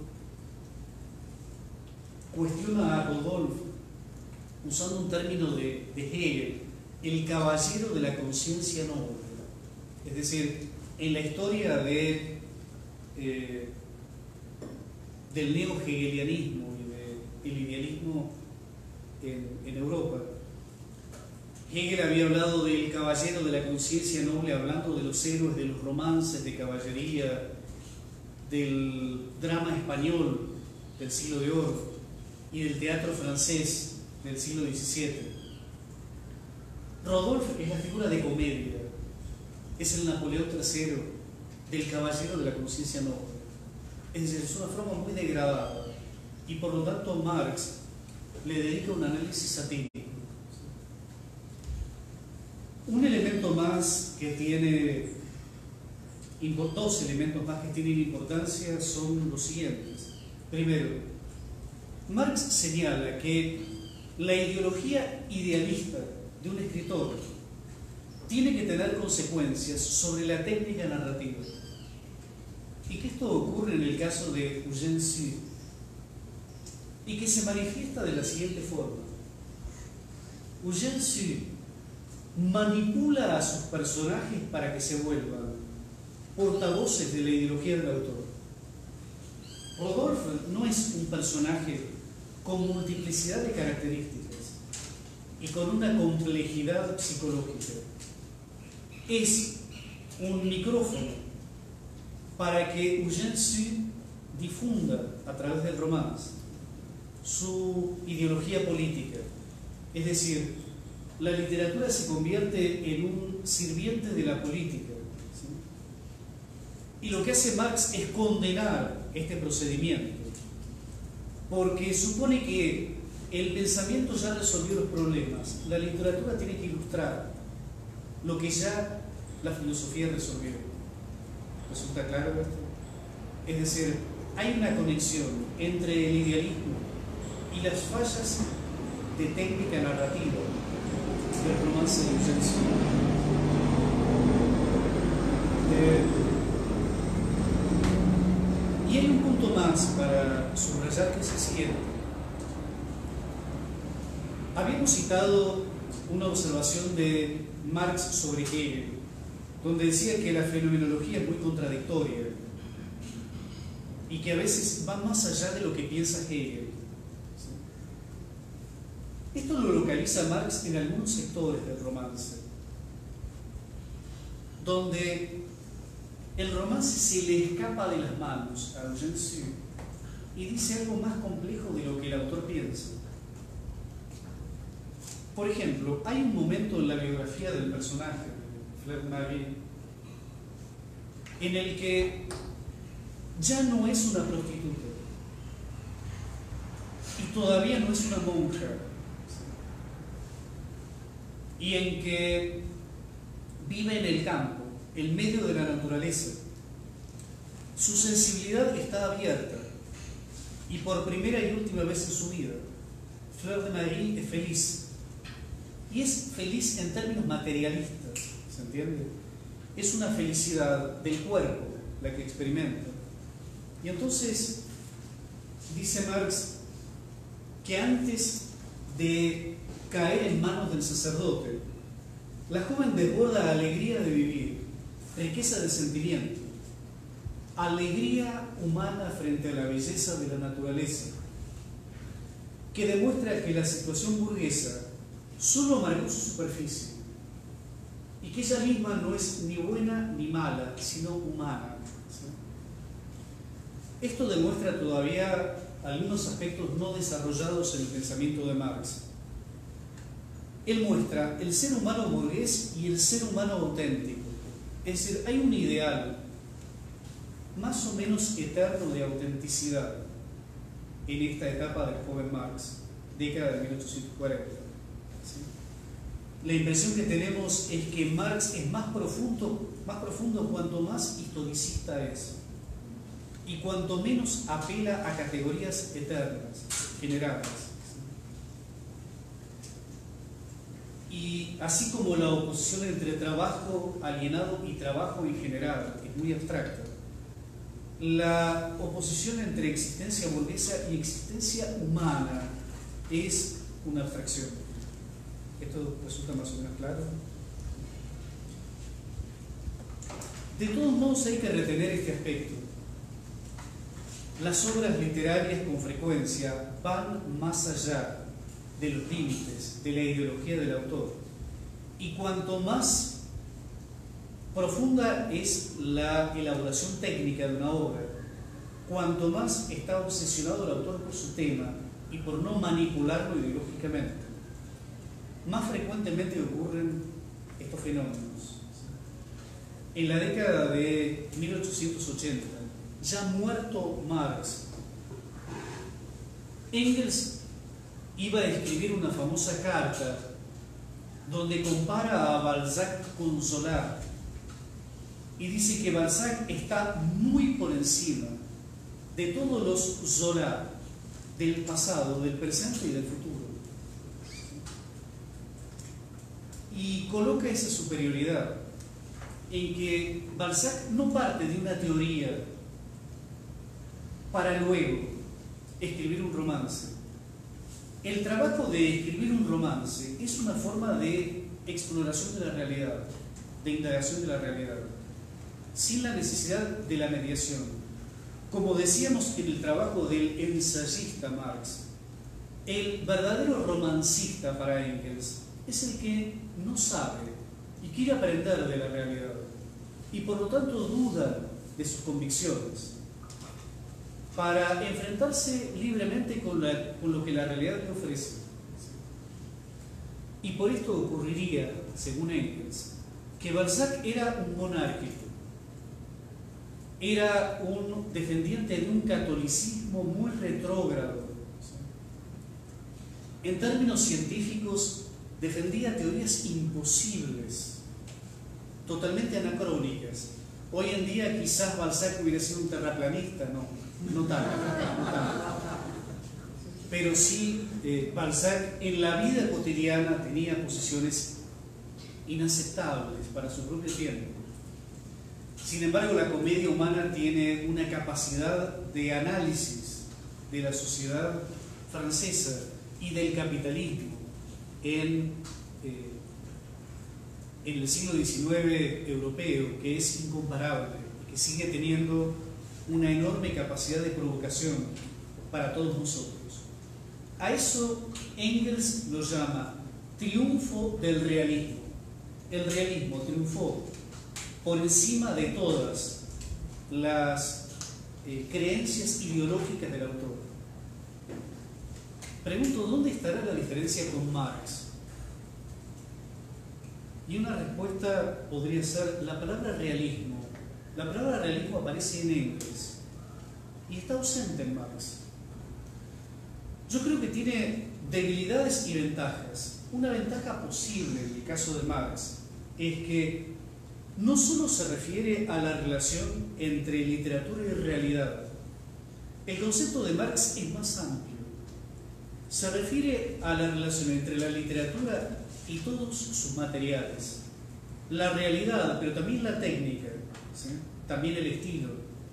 En todos los casos, piensa Marx, el verdadero artista es el que no sabe, sino el que quiere aprender. Aprender de la realidad, aprender de la técnica narrativa, aprender experimentalmente con los materiales que trabaja.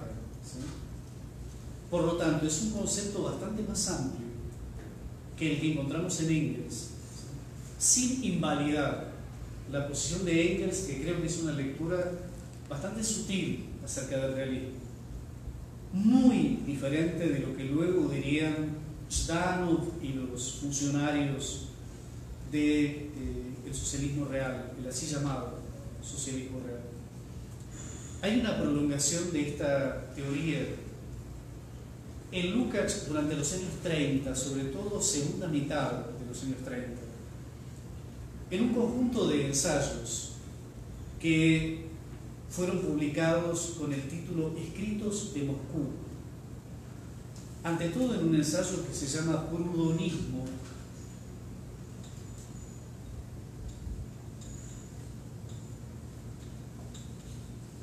o marxismo. Proudhon fue un líder socialista muy exitoso en vida, autor de un clásico del siglo XIX que es Filosofía de la Miseria. Muy entusiasmado con su libro, le envió un ejemplar a Marx para que lo leyera. Marx demoró un tiempo y escribió un libro donde destruye totalmente el libro de Proudhon y se llama miseria de la filosofía. El primer libro económico de Marx, el primer libro de crítica de la economía política, podríamos decir, todavía muy incipiente, muy embrionario, pero eh, el ensayo de Lucas trata de cuestionar justamente el método de algunos críticos literarios en la Unión Soviética que clasifican a los escritores en buenos y malos, según la ideología que tienen en su vida cotidiana. Habría algo para decir esto en relación con Marx. ¿Quiénes eran los escritores favoritos de Marx? Autores como Esquilo, como Shakespeare, como Balzac, como Goethe. ¿Quién de ellos era un revolucionario? ¿Quién? Eh, el único autor contemporáneo comprometido por el que Marx sentía un gran respeto era Heine. Ahora, Heine se dijo en vida de Heine, era un escritor que tenía dos espaldas. En una espalda le pegaba a la derecha, porque era un escritor socialista. En la otra espalda le golpeaba la izquierda, porque era un autor demasiado refinado estéticamente. Entonces Heine decía que estaba rebotando de un lugar para el otro y que no había un lugar que fuera el suyo. Eh, es un fenómeno bastante característico de los dogmatismos intelectuales. Suponer que la teoría ya resolvió todos los problemas y lo único que tengo que hacer es aplicar la teoría. Cuando retoma Lukács este problema en los años finales de los 30, en este artículo, Prodonismo Marxismo, dice que en la modernidad se produjo una división totalmente nueva en dos tipos de escritores antagónicos. Y que posiblemente la primera gran expresión de esta antítesis fue la discusión entre Goethe y Schiller, dos amigos bien diferentes. Unos son autores que parten de lo universal y desde lo universal descienden a la vida cotidiana para ilustrar la universalidad. Y otros son autores que trabajan en el ámbito de lo particular.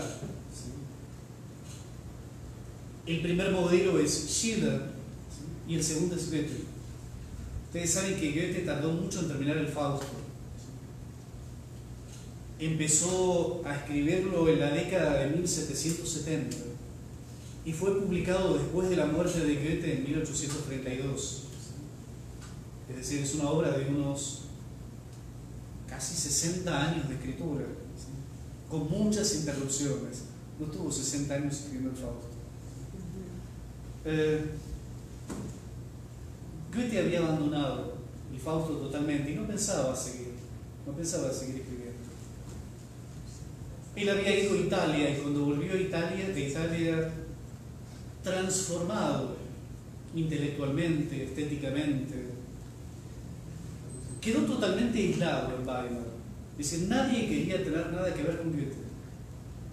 Y es allí que surge la amistad con Schiller. Y Schiller que es el responsable de haber insistido para que Goethe siguiera con el Fausto.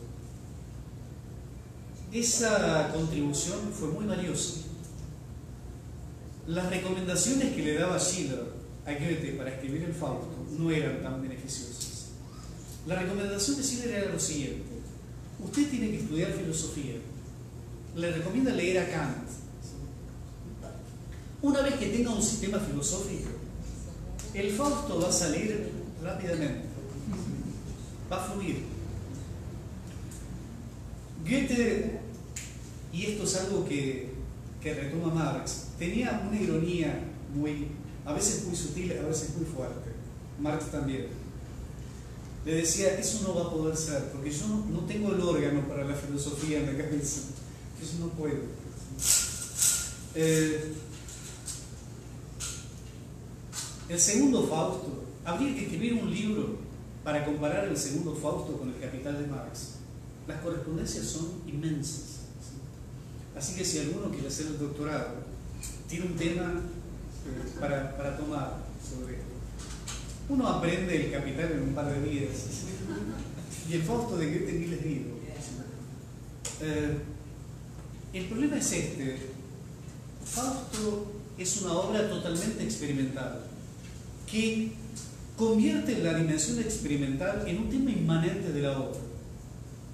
Fausto se equivoca todo el tiempo y en contra de lo que decían los críticos más tempranos, se llamaban perfectibilistas y como leían el Fausto de Goethe con la filosofía en la mano, pensaban que Fausto iba ascendiendo a niveles cada vez superiores. No. Fausto tropieza una y otra vez con la misma piedra.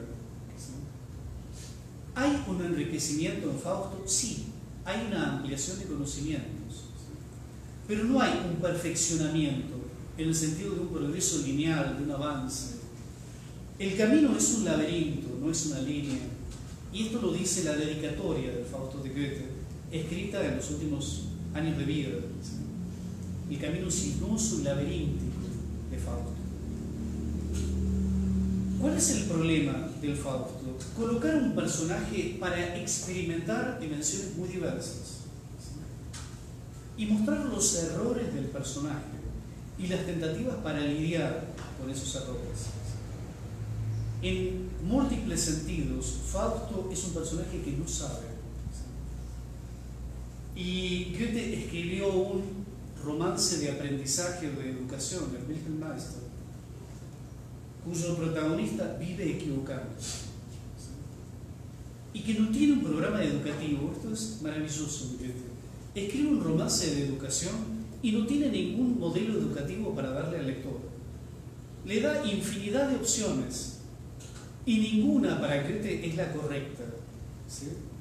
Es decir, no hay ninguna finalidad de bajar una teoría y arrojársela al lector para que aprenda. Lo que podríamos aprender en el romance de aprendizaje o de formación de Goethe es que la modernidad es una época en la que no existen manuales, no hay un mapa en la modernidad y no tenemos más remedio que experimentar una y otra vez, un poco a la manera de Marx en la tesis de doctorado. Las grandes autoridades cayeron, la modernidad es la época que no tiene grandes autoridades y que no tiene manual de instrucción, como puede ocurrir con los refrigeradores o con las computadoras. En ese sentido, la crítica de Lukács tiene esta dimensión tan fuerte. Lo dice eh, muy fuertemente en este ensayo. Él dice que Goethe y Hegel son los dos puntos más altos de la civilización burguesa en Alemania.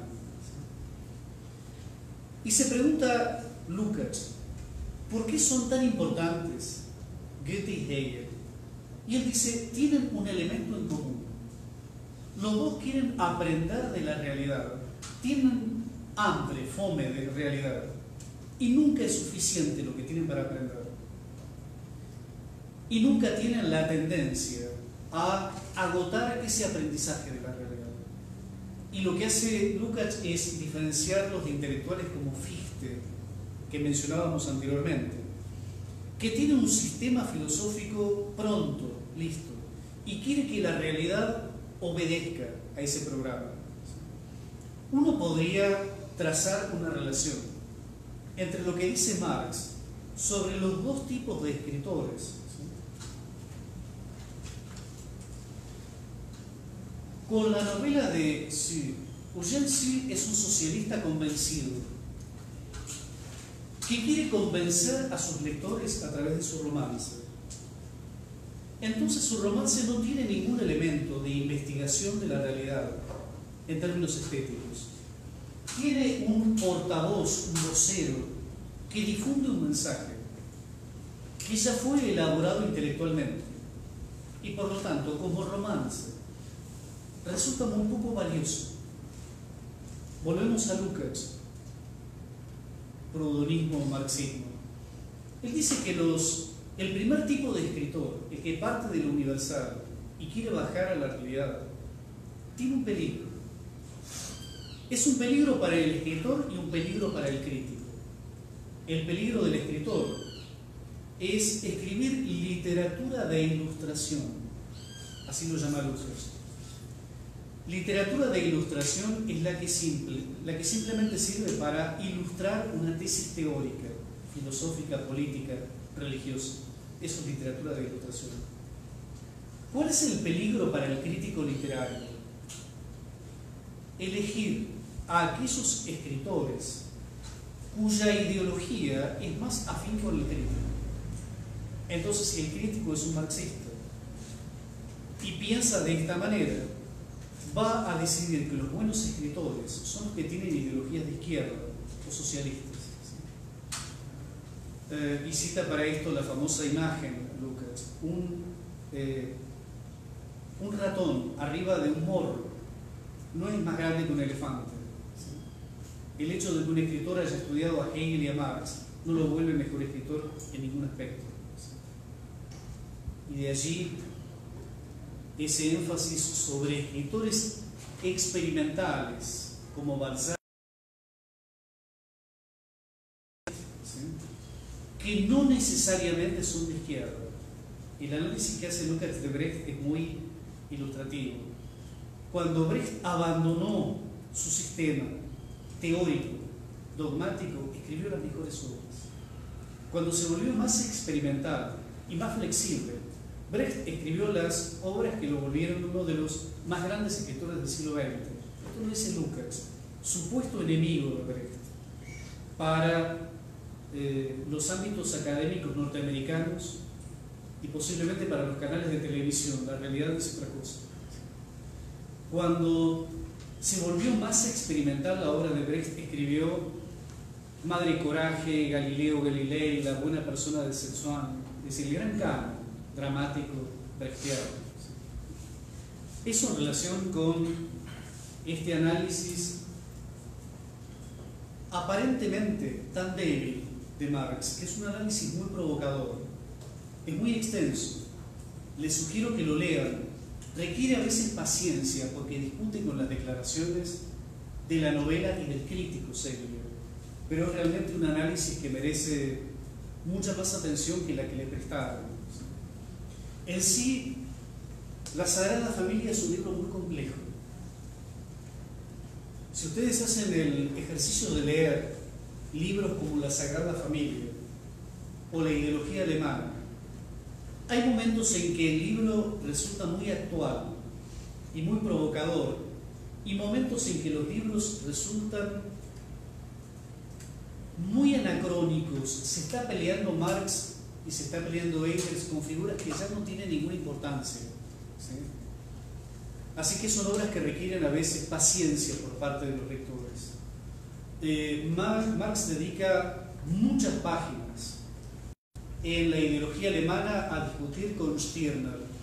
Hoy, ¿quién lee a Stirner? Es una lectura académica para especialistas. Es diferente de otros sectores de la obra de Marx.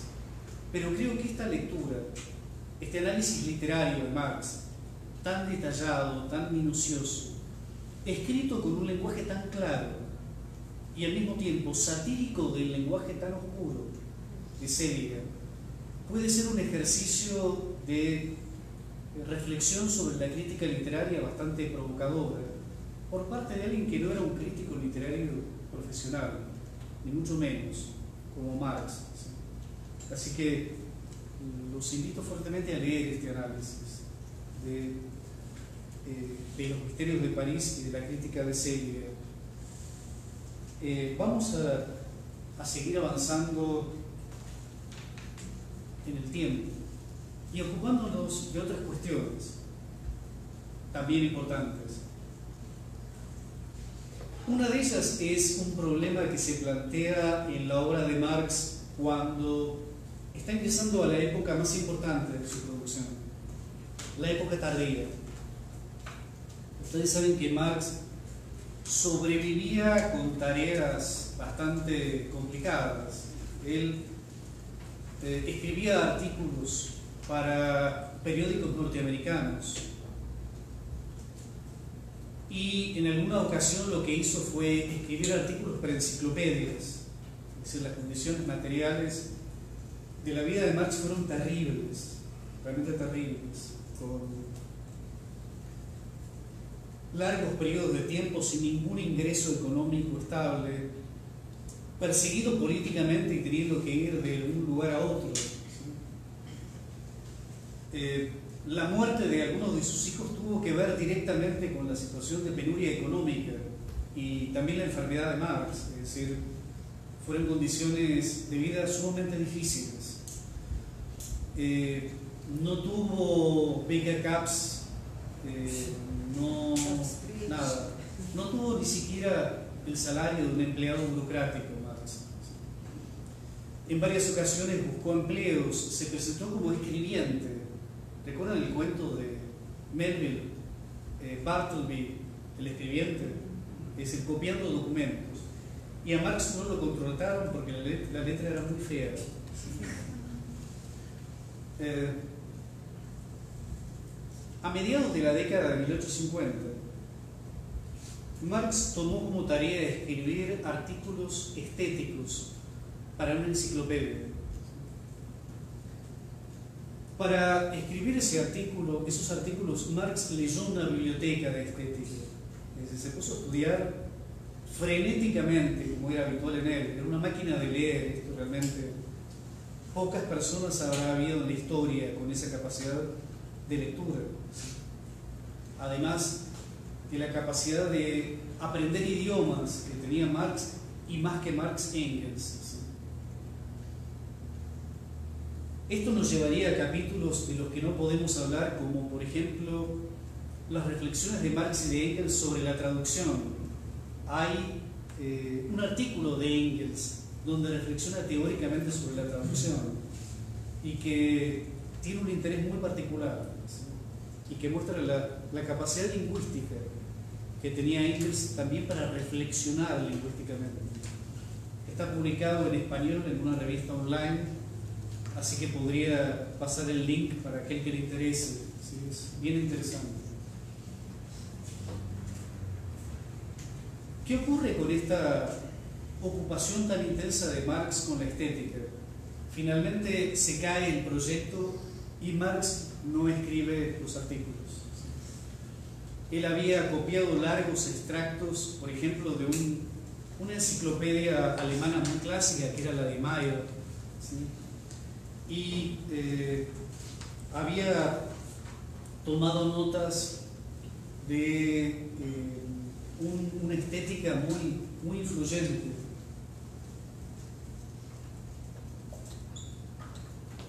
En el siglo XIX, que es la de Fischer, una inmensa estética, algo así como unas tres mil y tantas páginas. Estas monstruosidades idealistas en Alemania Fischer es un, un contemporáneo de Marx. Muere cuatro años después que Marx. Eh, y Marx lee toda la estética de Fischer, hace anotaciones, observaciones bien interesantes.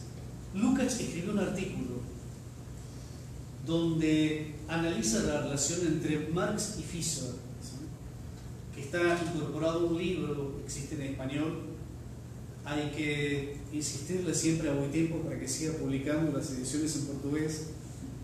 El libro en español es Aportaciones a una historia de la estética.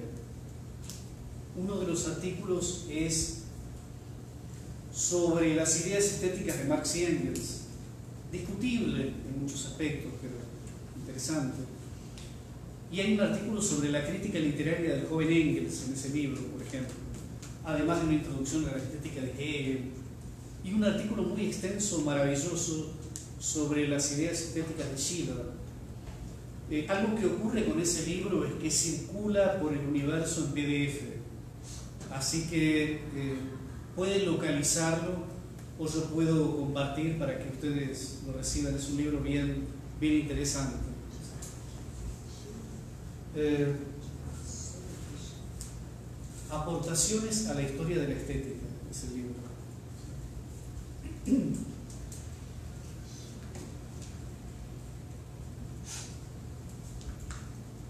¿Qué es lo que saca el limpio Marx de toda esta ocupación? Dos reflexiones que son extremadamente importantes. La primera, la relación entre base y superestructura, que es repetida como un papagayo de pirata por innumerables burócratas del estalinismo y que en Marx aparece de una forma bien diferente. Y la segunda es una reflexión de por qué ciertas obras y ciertos géneros literarios persisten históricamente y otros desaparecen. Es decir, ¿cuál es la forma de analizar históricamente las formas estéticas? Es un problema central dentro de toda la historia de las estéticas marxistas. Primero, ¿cuándo aparece en Marx la reflexión sobre base y superestructura? Aparece en el prefacio a la contribución a la crítica de la economía política de 1857 y es posiblemente uno de los textos más problemáticos en la obra de Marx.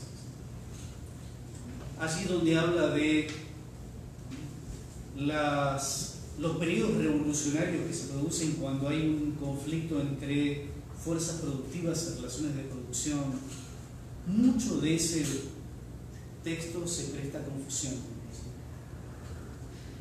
Más importante había sido la década de 1840. ¿Por qué? Porque Marx se estaba peleando con los idealistas alemanes. Entonces, frente al énfasis que ponían los idealistas en el espíritu, Marx lo que quería era subrayar la importancia de las condiciones materiales, de el trabajo, la producción económica, de la existencia corpórea, física del ser humano, de la naturaleza. Esto podía llevar fácilmente a interpretar que las fuerzas que importan únicamente son las materiales y por lo tanto un determinismo filosófico y económico bastante complicado. Marx no retomó el problema en la obra tardía, simplemente no, no vuelve a ocuparse del tema.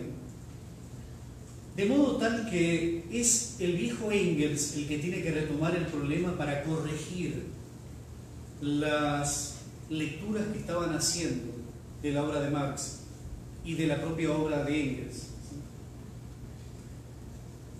Es allí donde dice que hay que cuidarse de tomar de manera muy rígida la relación entre base y superestructura. Hay una carta a Joseph Bloch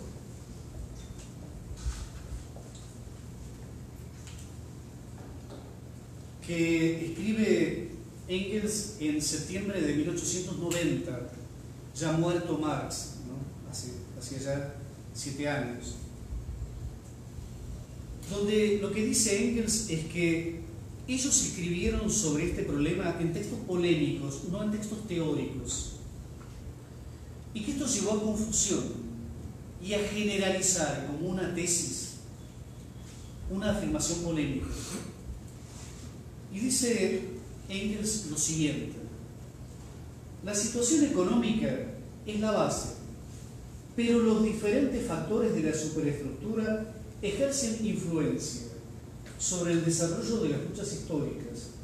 En muchos casos determinan su forma de manera decisiva, o sea, la superestructura determina de forma decisiva. Existe una interacción entre todos estos factores y aquí viene una frase quizás bastante problemática, dentro de la cual finalmente el movimiento económico logra atravesar la pluralidad infinita de contingencias. No sé qué quiere decir al final y no conseguí que alguien me lo explique. De no ser así, y esta frase sí es muy importante, la aplicación de la teoría a un periodo histórico cualquiera sería más fácil que resolver una ecuación de primer grado. 1890 explica el estalinismo con décadas de anticipación. Si uno no comprende la interacción entre numerosos factores, aplicar la teoría a un periodo histórico sería más fácil que resolver una ecuación de primer grado es la crítica de Sartre a los marxistas en oposición a Marx. Eh, confieso no entender muy bien algunas declaraciones de Engels. Por ejemplo, en otros pasajes dice que, vuelve a decir, que el proceso social es la interacción entre numerosos factores. Pero que la economía incide en última instancia. ¿Qué quiere decir en última instancia? ¿Alguien se puede imaginar qué quiere decir? Yo no. Que viene al final como el ejército al final de una película norteamericana y resuelve todo. O que deja que se pelee en la economía y al final dice, ahora vengo yo en última instancia. Y yo soy el que decide. No, no. Confieso no entender. Me parece que la explicación del viejo Engels corrige fuertemente muchos errores, pero no aclara del todo el problema. Recuerda esa explicación que dice, eh, la Tierra es plana, esto lo escucharon. Bueno, ¿quién sostiene a la Tierra? Cuatro elefantes. ¿Y quién sostiene los cuatro elefantes? Una tortuga. Ah, está bien, ya está. No, no cierra el problema. Simplemente aporta una explicación que tranquiliza algunos ánimos. Cuando el lector no es lo bastante eh, serio para estudiar las cosas hasta el final, es la impresión que yo tengo. En relación con, con Marx, en el viejo Marx aparece cada vez más fuertemente la idea de que las categorías universales explican muy poco, explican demasiado poco. El viejo Marx habla del trabajo y dice qué es el trabajo en general. Metabolismo de la sociedad con la naturaleza, forma eterna de relación, de mediación con las estructuras naturales. Punto. A Marx le interesa explicar el trabajo bajo las condiciones capitalistas y allí tiene centenares de páginas, mientras que la descripción del trabajo en general ocupa menos de cinco líneas. Creo que parte del desafío del viejo Marx es que es mucho más radical en su análisis histórico y que apela mucho menos a invariantes generales, a categorías genéricas, mucho más que en la década de 1840, donde había trabajo en general, humanidad en general y otras generalidades de esta clase. Eh, esto va de la mano de esta reflexión sobre el fetichismo de la vida cotidiana. Lo que se pregunta Marx es, ¿qué hay detrás de esos fetichismos? Y es aquí donde entra en reflexión sobre la literatura y el arte y su relación con la visión fetichista de la realidad cotidiana. ¿Qué vemos los hombres en la vida cotidiana? Vemos la clase, la casta, en algunas formaciones históricas la tribu, la familia. Vemos formas particulares y tenemos una enorme dificultad para concebir abstracciones. La idea que tiene Marx es que la literatura tiene una capacidad particular para generalizar fenómenos que en la vida cotidiana no resultan tan fáciles de percibir. Hay una entrevista que le hicieron a Lukács poco tiempo antes de la muerte y le preguntaron a Lukács por qué era importante la literatura para Marx. Y él dice que piensa lo siguiente, la literatura le enseñó a Marx a ver la sociedad y la historia no como cada movimiento individual, sino observando todo el tablero de ajedrez. ¿Se comprende? Es decir, algo que se aprende con ciertos autores es una capacidad de abstracción enorme. Y es esto, algo que fascinaba a Marx en ciertos escritores, esta capacidad de percibir a partir de la experimentación con la literatura. Ciertos rasgos que no son fácilmente perceptibles en el vértigo de la experiencia cotidiana Sobre esto como problema hay en Proust páginas conocidas seguramente para todos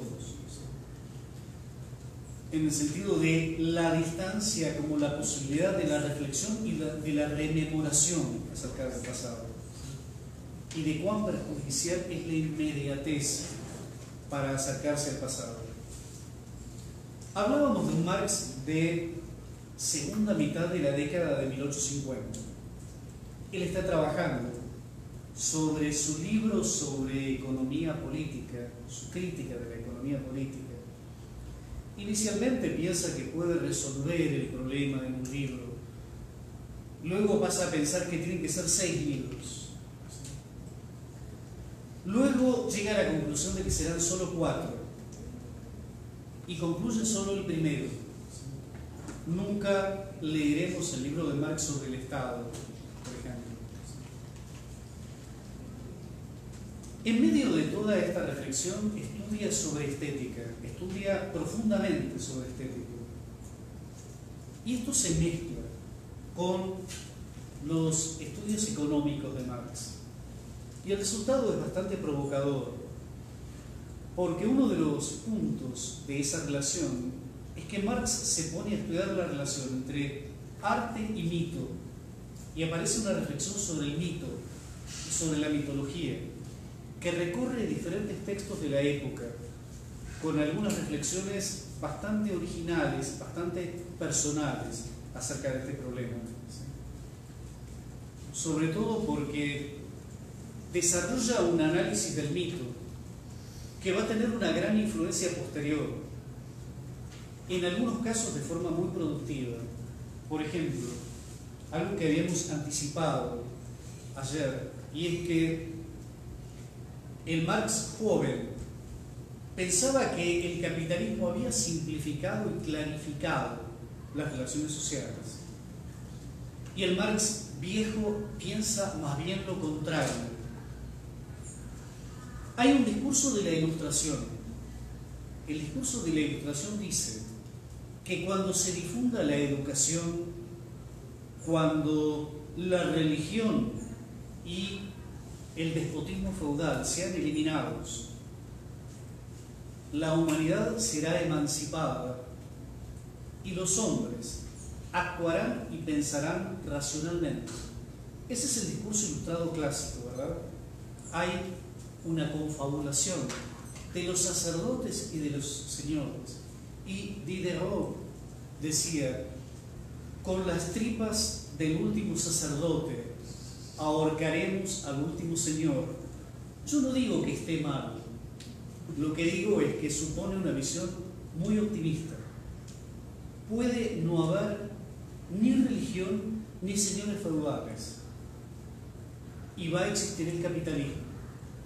Y tenemos más o menos en claro, me parece, en esta sala de agua, cuáles son los efectos del capitalismo. Basta con pensar en la catástrofe ambiental.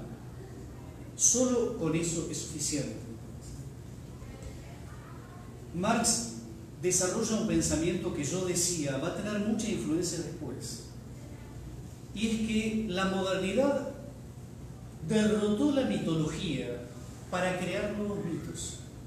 Mitos que son inmanentes a la modernidad, que son formas objetivas de la modernidad y que no habían existido anteriormente.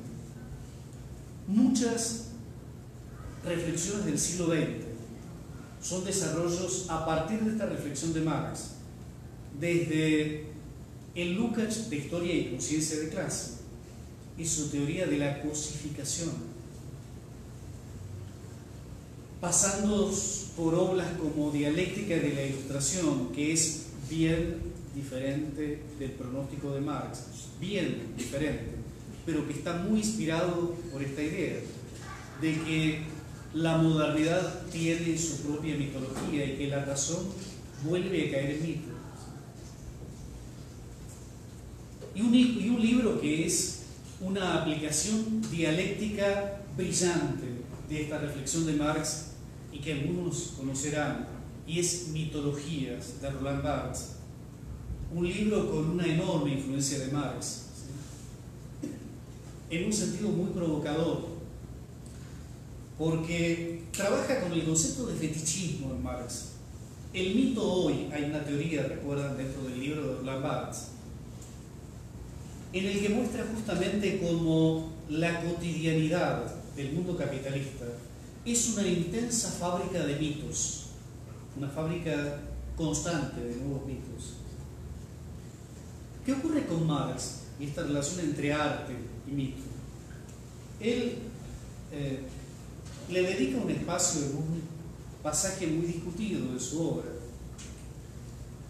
Y es una parte de los Grundrisse,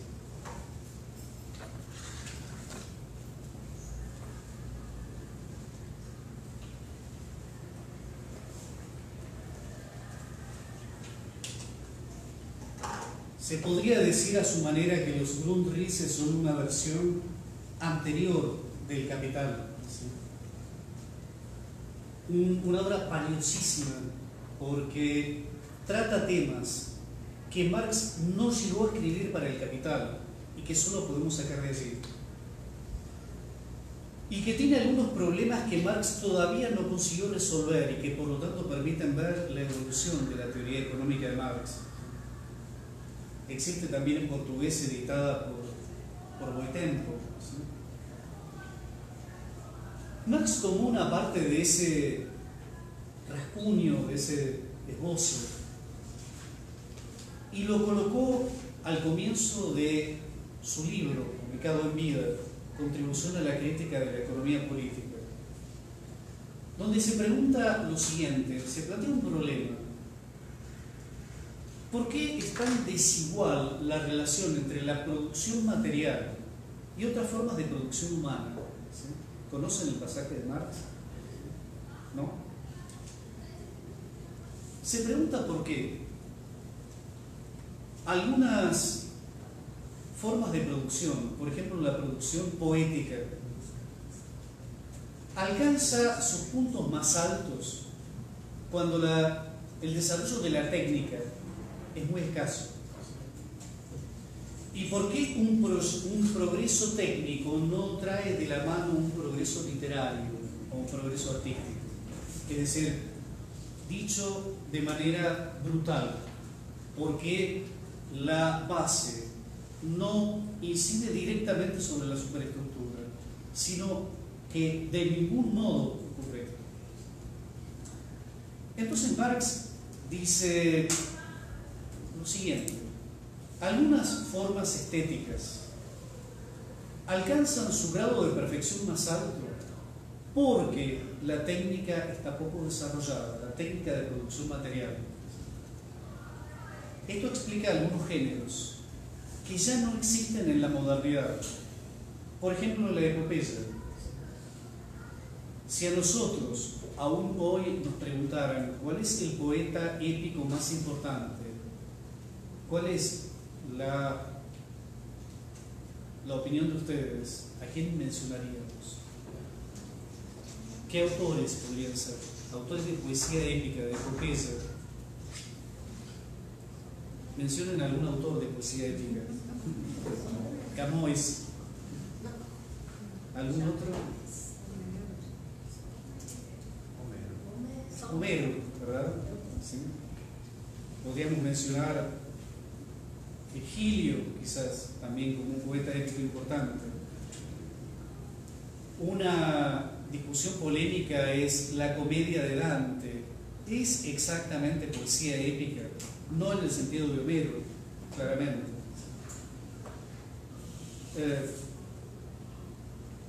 Marx dice, basándose también en su grecomanía, ¿quién fue el mayor poeta épico de todos los tiempos? Y responde Homero la Ilíada y la Odisea nunca fueron igualadas como poemas épicos. Podemos discutir. En todo caso, la opinión de Homero es sustentable. Y la poesía épica ya no existe en la modernidad. ¿Cuál es el gran poeta épico de la modernidad capitalista? Yo no lo conozco.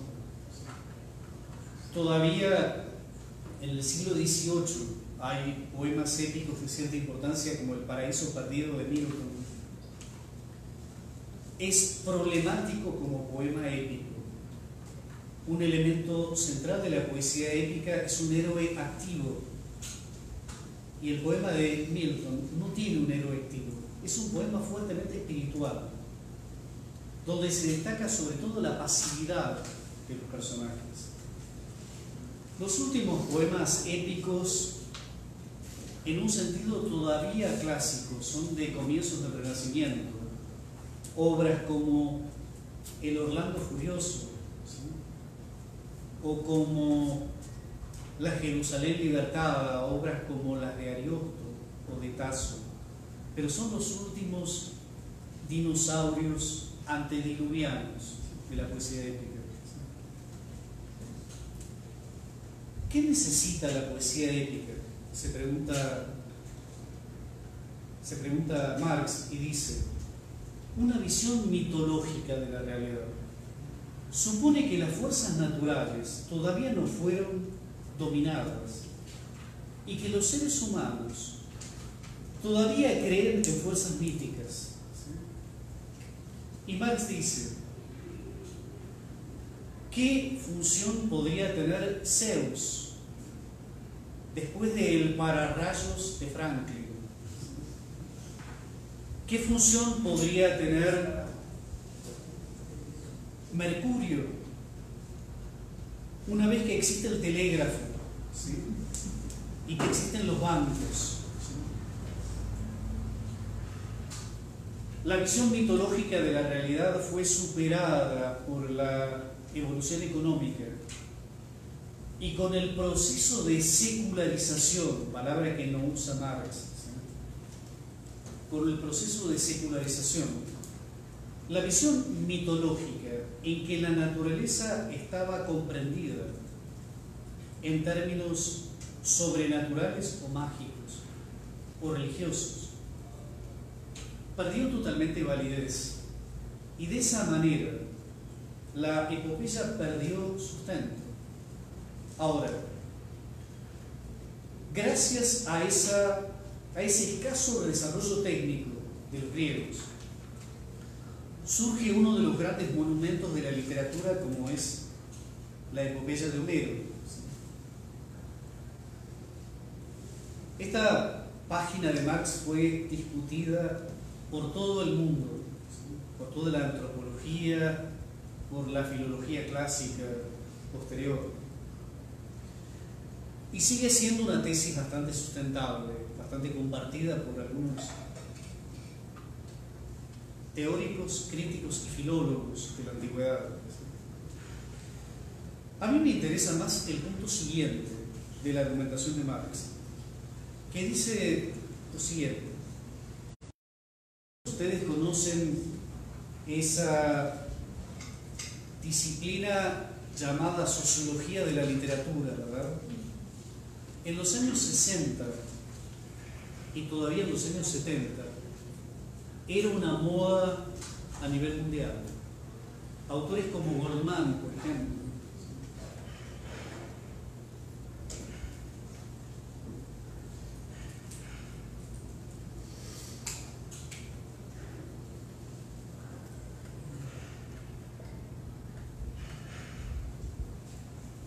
crítico de origen búlgaro instalado en París. Escribió una sociología del, romance que tuvo una influencia enorme en la Argentina en los años 60, 70. Eh, Goldman decía que se inspiraba en Lukács. Cuando Lukács leyó la sociología del romance de Goldman le pareció horrible dijo, a este Goldman no lo entiendo. Eh, algunos estudios empíricos de sociología, como los estudios de Scarpini, fue una moda rabiosa. En muchos casos por autores que, como ocurre con Goldman, decían que eran marxistas. Eh, hay un artículo dice, yo soy ignorante en casi todo, en casi todo ámbito del conocimiento humano. especialmente en el ámbito de la literatura brasileña, donde no puedo decir dos oraciones seguidas sin eh, decir algo que es teatro. Pero recuerdo un, ensayo de Antonio Cándido al comienzo de Literatura y Sociedad, donde señala algo que me parece totalmente eh, correcto. dice, la sociología de la literatura, como disciplina extraliteraria, es perfectamente justificada. Uno puede leer, por ejemplo, el teatro griego, la comedia, la comedia griega o la comedia latina, para estudiar problemas de clase social, problemas económicos, problemas de la circulación del dinero, problemas de la situación de las mujeres en la sociedad antigua. Solo que nunca debería olvidarse de que eso no es análisis estético, no dice nada acerca de la importancia estética de una obra, no dice nada sobre si esa obra es buena o mala. Puedo hacer el mismo análisis con un gran autor o con un autor de última categoría.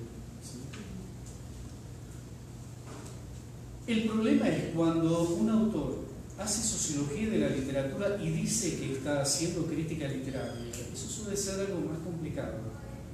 Y eso es lo que propone Goldman. Y por eso Lucas decía, a este Goldman no lo entiendo. Es, una ironía, es ópica de. La idea de Goldman es la de muchos sociólogos de la literatura. Es analizar una obra literaria desde un punto de vista social o político. En la forma más degradada, cae en lecturas muy mecanicistas. Esto en la Argentina hizo cosas espantosas. Es decir, eh, implicaba decir que Borges es un autor pésimo, porque Borges era de derecha, y que eh, la literatura de Borges es fantástica. Eh, la literatura fantástica es una evasión de la realidad. Entonces no habría que leer a Borges. Y entonces surgen problemas. Es decir, cuando una metodología es estúpida, surgen problemas. Por ejemplo, ¿qué hacemos con Cortázar? Cortázar era de derecha. Ideológicamente no. Su literatura es realista, bueno, no sé, Rayuela más o menos. Es muy experimental Rayuela. 62 modelos para armar, uy Dios, ¿qué hago con esto? ¿Y qué hacer con Bestiario, por ejemplo? ¿Qué hacer con los cuentos fantásticos de Cortázar? Bueno, Cortázar es de izquierda, pero escribe literatura fantástica de derecha. No, no funciona. No funciona si yo tengo que hacer una teoría literaria en el siglo XX y Borges y Cortázar no entran, mi teoría no sirve, no funciona. La teoría de Goldman es un poco más sofisticada. Supone lo siguiente. Todo escritor importante expresa la estructura mental de un grupo social determinado los grupos sociales, eventualmente las clases sociales, tienen ideologías específicas, solo que a nivel social esas ideologías son muy difusas. Lo que consiguen los grandes escritores es darle una forma más consistente, más orgánica a la ideología del grupo social. Esto es lo que hace Goldman en un libro que se llama Le Dieu caché, El Dios escondido, donde dice que el teatro de Racine y la filosofía de Pascal son estructuras estéticas y filosóficas que expresan la estructura mental de una clase social. La aristocracia de toga, un sector de la sociedad francesa, en épocas de Luis XIV Pregunta de Lucas a Goldman. Eh, un análisis marxista no puede aplicar criterios epistemológicos a una obra estética. ¿Qué quiere decir eso en el lenguaje de los seres humanos? Cuando yo analizo una obra científica y con los debidos cuidados una obra filosófica, yo puedo aplicarle un criterio epistemológico, decir que esa teoría es científicamente correcta, incorrecta, que determinados elementos son correctos y otros no lo son. ¿Estamos de acuerdo? ¿Yo puedo hacer eso con una obra literaria? Yo leo la Odisea y digo mentira. Y entonces ustedes me llevan a un, eh, a un lugar de internación para dementes. el alienista de Mayor de. Colocan una camisa de fuerza y me llevan. Porque yo dije que eh, Hamlet de Shakespeare es mentira. Si yo analizo en los mismos términos la filosofía de Pascal y el teatro de Racine, dice Lucas a propósito de Goldman, estoy aplicando un criterio reduccionista y la literatura no puede ser analizada epistemológicamente. A no ser que uno salga de la crítica literaria y haga un análisis sociológico, histórico, lo que es válido el problema de Goldman es este. La otra pregunta que le hace Lucas a Goldman. Racine era un autor de un sector de la burguesía francesa, desencantada con la política de Luis XIV y que se volvió descontenta, opositora, y por eso la visión trágica de, la obra de Racine. Bien, dice Lucas. La explicación es posible. Ahora, ¿por qué seguimos leyendo así? Si, esa clase social no existe. Le pregunta Lucas a Goldman, no personalmente, sino a través de sus escritos y de sus declaraciones. Ya no existe la época de Shakespeare la aristocracia isabelina ni el feudalismo decadente y en desaparición. El periodo isabelino no existe. ¿Por qué seguimos leyendo a Shakespeare? ¿Y por qué no leemos a otros autores? ¿Por qué la humanidad se olvidó de muchísimos escritores isabelinos? Y recuerda a algunos. ¿Por qué leemos a Shakespeare? ¿Por qué leemos a Ben Jonson? ¿Por qué leemos a Marlowe? y de otros autores ni nos acordamos. ¿Por qué leemos a Balzac?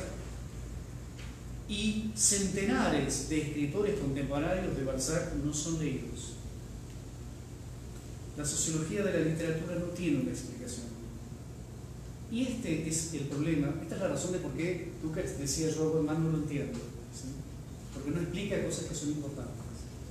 Volvemos al texto de Marx, Marx dice, nosotros podríamos perfectamente explicar la ética, la epopeya de Homero, a partir de las condiciones sociales de la Grecia de su época.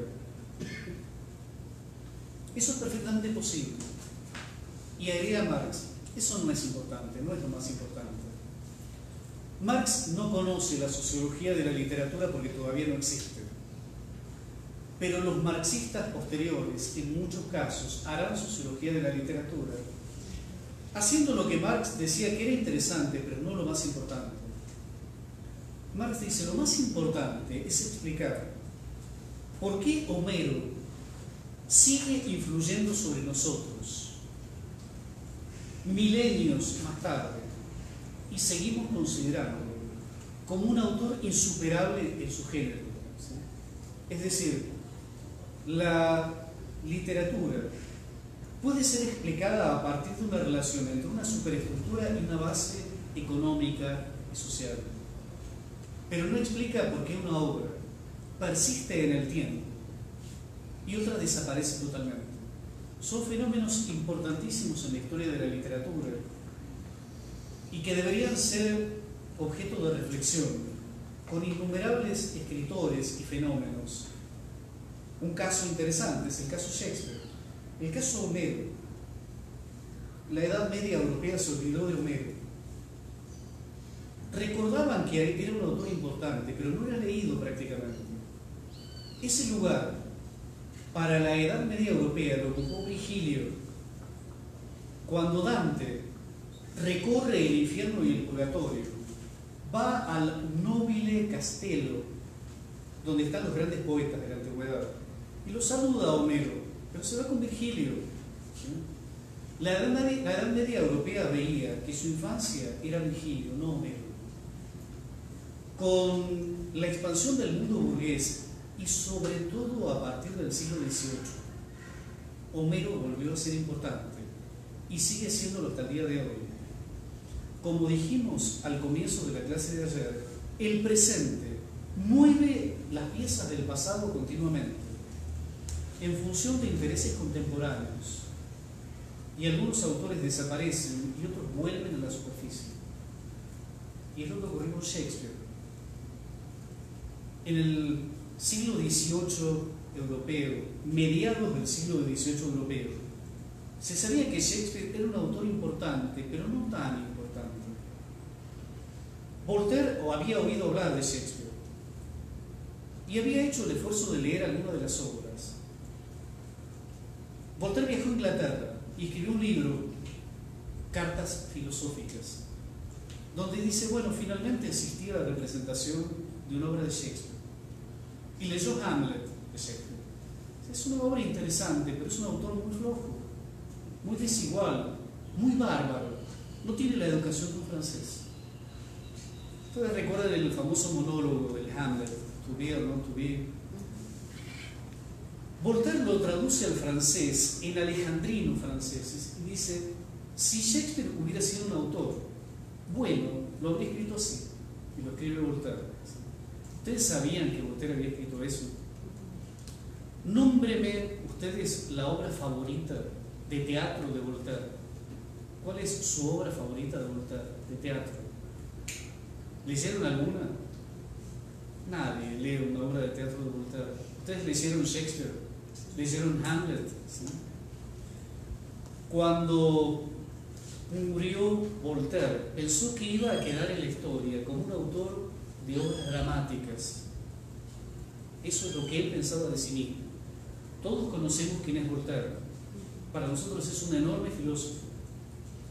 Y es un autor de romances y de cuentos, ¿verdad?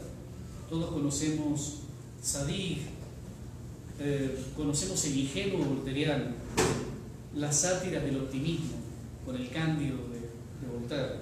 Conocemos eso. Es la diferencia entre la percepción del presente, con ese nivel de la inmediatez del presente, y la distancia de la perspectiva histórica y la experiencia del presente con el pasado.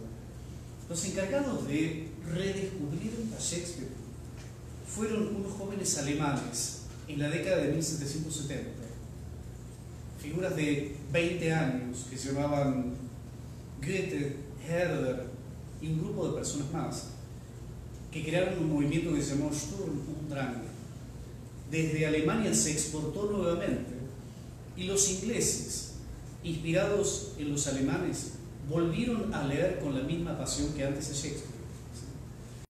Es la idea de que la sociología mecanicista no explica nada de lo fundamental. Habría que explicar razones para la evolución histórica y la recepción, la permanencia y la desaparición de los fenómenos estéticos. Y esto es lo que se plantea como problema Marx en esta introducción de los Grundrisse. Detenemos aquí y hacemos preguntas, observaciones que ustedes quieran. ¿Están muy cansados? ¿Puede surgir alguna pregunta?